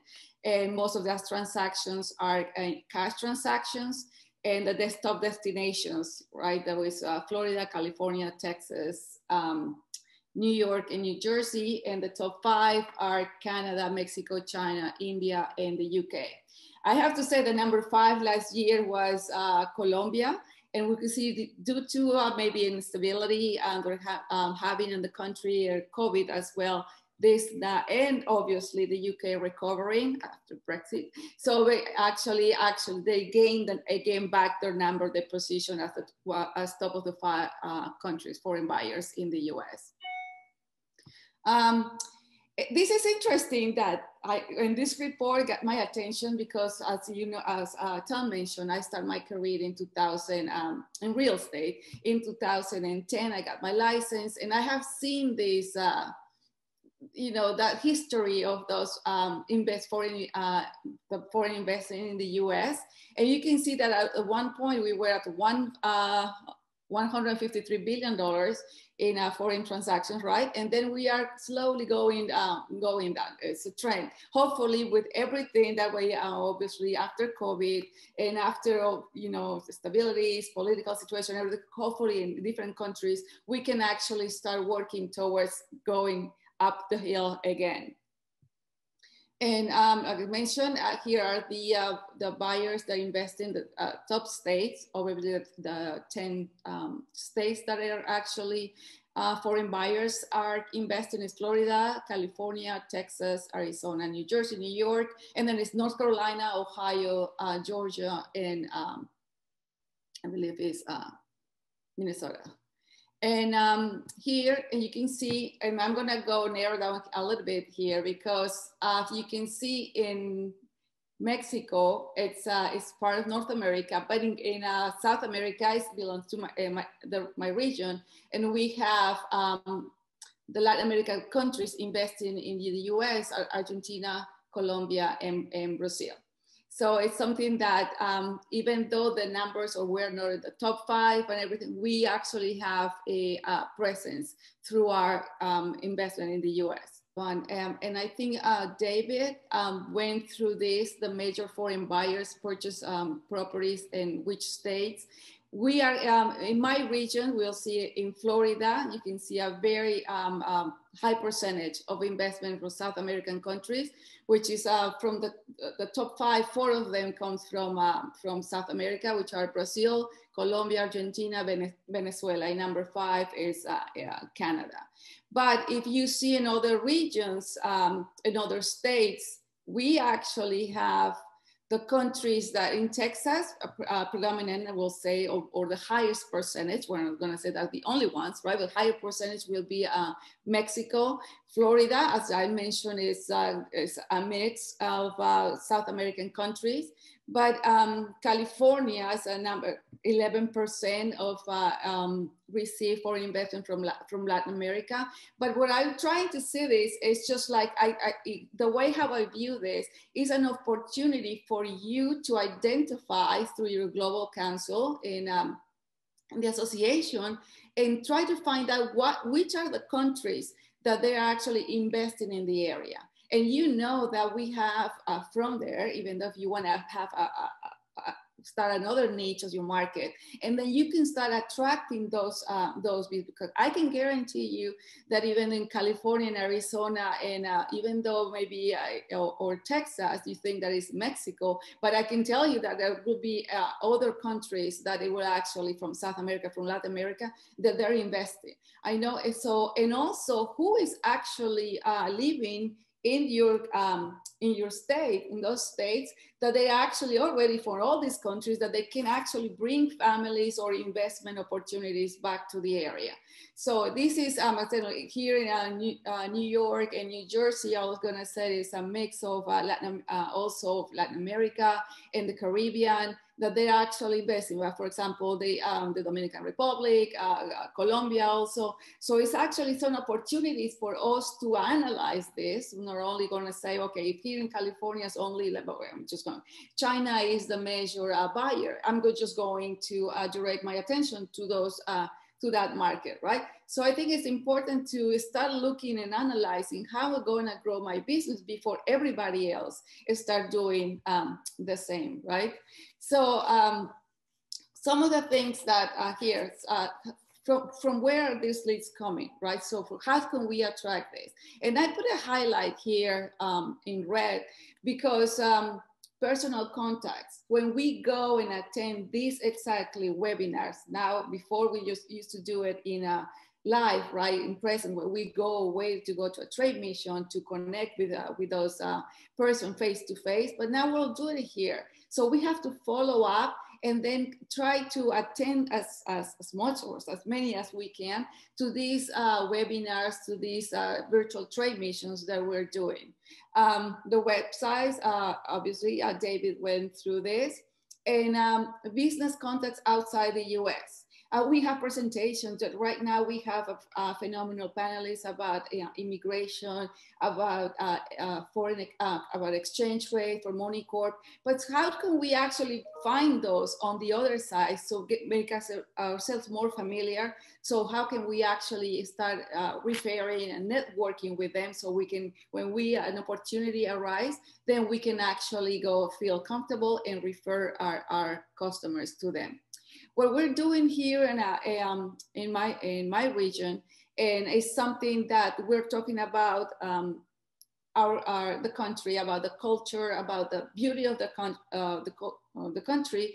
And uh, we actually were featuring our international realtors. So that way we are having, having them connect with the US realtors um, in, in the area who like to participate. So that way they start building that you have your, uh, your contact in, this, in these countries. So for us, it's very important that we can actually reach out to all these global councils. So you guys have present this information to your, um, to your members so that way they can feel more comfortable and more actually knowing about when the opportunity uh, arrives they know who to contact they know who to um, where to go and how to get that information, which co cooperating association NAR has an agreement in this country. We are seeing in this, uh, those statistics that we have shown that Mark has said, that David went over, uh, NAR is uh, it's, it's giving us all those tools for us to grow our business. It's our job to actually inform and, um, and our membership to have okay here here here is this is the channel that you need to follow and try to keep this um, between uh, realtor to realtors uh, professionals. What i'm saying is what we're trying to do is through professionals because we know that there's investment is coming buyers are coming and the best way to actually um, serve those customers is to channel to a professional. Uh, um, I forgot here to mention in our country, it is uh, the profession is regulated. In Brazil, the profession is regulated by the government, right? In Chile, was regulated uh, at one point. It's not regulated, but we follow this partnership with uh, the Cooperating Association. In uh, Brazil has 400,000 members um, uh, uh, in the in within the association and uh, they do uh, we have the two cooperating associations with Cafés Sin Secovi that they serve uh, the residential commercial side. Um, colombia is not the profession is not regulated currently. They're working to uh, regulate the profession which is very important for us. Um, uh, again when we are doing referring these um, our customers peru is a, is a regular regulated profession. Uh, ecuador same Argentina, you need to have a university degree in order to, um, you know, in order to work and uh, put an affiliated to an, uh, an association and it, it is required. If you don't have a university degree, then you need to be same as we do here under uh, the supervision of a broker who, who has a, a bachelor degree. Okay, and Paraguay, I'm sorry, Paraguay is not uh, regulated, nor Uruguay. Um, what happened during COVID? During COVID, obviously, all these countries, we are same as uh, worldwide, globally, we were affected right? Um, and then most, but most of this country, they actually have travel ban and they have a really strict protocol uh, and guidelines to follow. Um, most of these countries, uh, they will require their, their travel ban has been lifted. Um, you can actually, uh, they, they do require the negative COVID test, but um, there are now they are you can travel you can visit. Another great it's a great opportunity for um, for us. And this is like just like david uh, uh, mentioned um, before this has the um, in order to recover um, there's it's going to take a couple years to recover and uh, all the implementation and guidelines that they're actually taking over. And in some countries due to political instability uh, situations the opportunities arises in real estate and also the exchange rate. So it will be a great opportunity same as many of these countries, like right now, we're going to say Colombia and Argentina, I actually take in their money investment and bring it over to the US. Also, there's a great opportunity for US looking to diversify, diversify their portfolio or looking for, for a lifestyle, like there is in, um, looking to invest overseas for a vacation home. This is a great, great opportunity to um, to buy a property. I was gonna say Brazil has a golden visa right now where you can buy a property by the uh, on the water in the northeast side of uh, the country for like less than $200,000.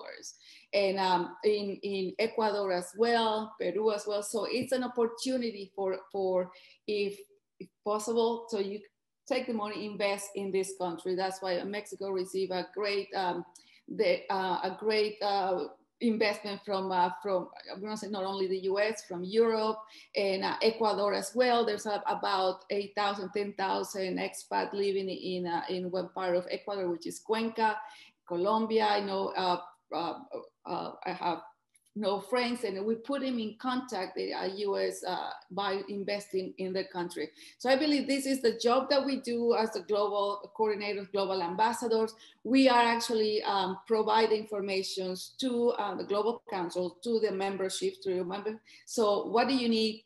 Tell us what do you need so we can help you grow your um, grow your business. Okay, and uh, this again, last statistics that we were going through. Um, the webinars that we uh, held every other week. Uh, next week is going to be Chile. It's a, Chile is one uh, another uh, fabulous country, very stable, and uh, where you can buy great properties over there. So you want to know about the country. We have the next presentation is next week on Thursday three o'clock Eastern Standard Time. And over there, you can uh, network with, uh, with the local realtors and you can learn about the country. The other way that we can actually um, other ways that you can actually uh, learn about these countries is about attending the, the conference right now. You can, from the comfort of your home and your office, you can actually log in and there most of them, they're virtual or even hybrid. They're up, you can be live, can go uh, live or you can go uh, virtually. And the next one is uh, in Colombia, August 24, 27th. Um, uh, and also the next one is the Confederation of uh, um, Real Estate in Latin America, which is September 9 and 10. And uh, Brazil, if you would like to experience the beauty of the country, it's in uh, Foz do Iguaçu, which is bordering with Paraguay, and it's um, it's uh, September 13 and 18. Sorry, and then obviously if um, God allows, we can all travel and be there and exchange back to normal, hopefully, and exchange uh, our business cards with them. Um, in our country, it's mostly is uh, the only country that speaks uh, a different language is Brazil, which speaks Portuguese, and the other countries speak um, Spanish. And besides most, most of the countries, uh, the religions is um, Catholic or Christians. Um, and basically that's um, we wanted to be grow the power of the brand the realtor family and uh, that will be, as I say, as David and Mark has said, we is, that's our main goal. And we would like to uh, help all of you attending today to build that uh, referral network that um, with the countries of your that you have uh, interest. And uh, that's my uh, report.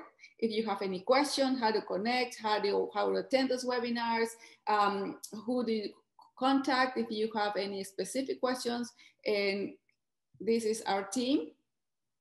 And um, we will be more than happy to help you succeed in this country.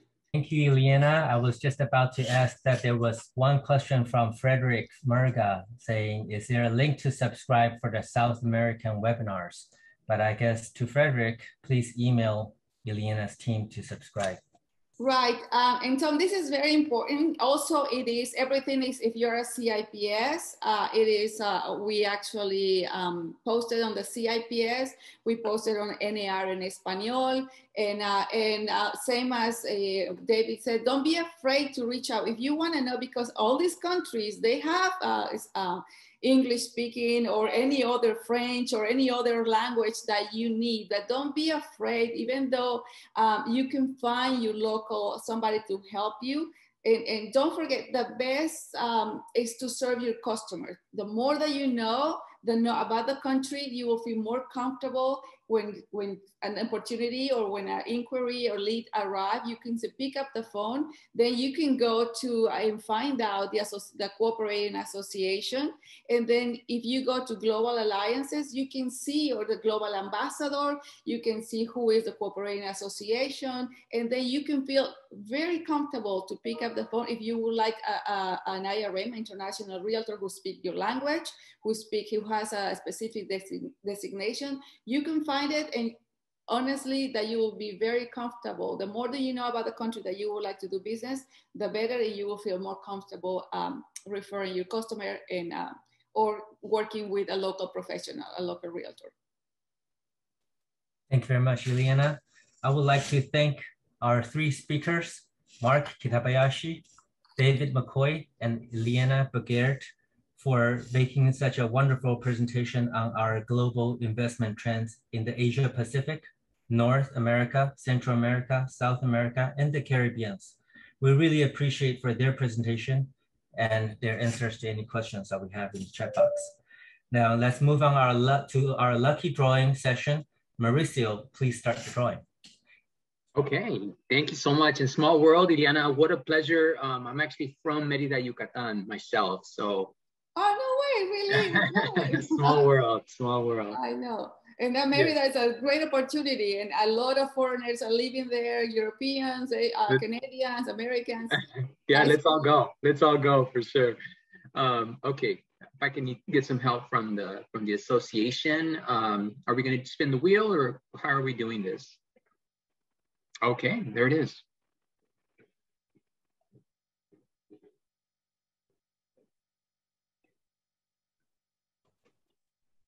Yay, Lindy Fong is our first winner. Congratulations, Lindy. Is, is Lindy there? Is Lindy is joining us still? Yes. Yes, she is. Winner, winner. Please type in your email address in the chat box so we can email the gift card to you. Thank you. Okay. Here we go. Who's gonna win? Who's gonna win? Mike Stone is our next winner. Congratulations. Is Mike joining us still? I saw him earlier. Okay, Mike, once, going twice, going three times. Okay, let's respin then. Okay.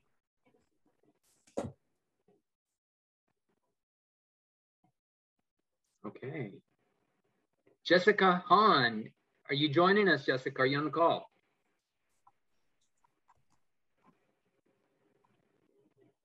Prompt us on the chat box if you could. I don't see. I don't see her name. Okay. Okay. And I know I know we're we're short of time, so we'll we'll keep moving. How many do we have, um, Mo? We have two more. Two. Ida Santiago. I don't see her name either. Okay. All right. Keep moving.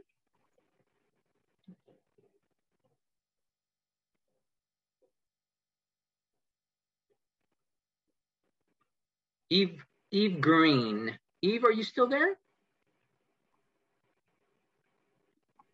Okay. Next. Okay. One more.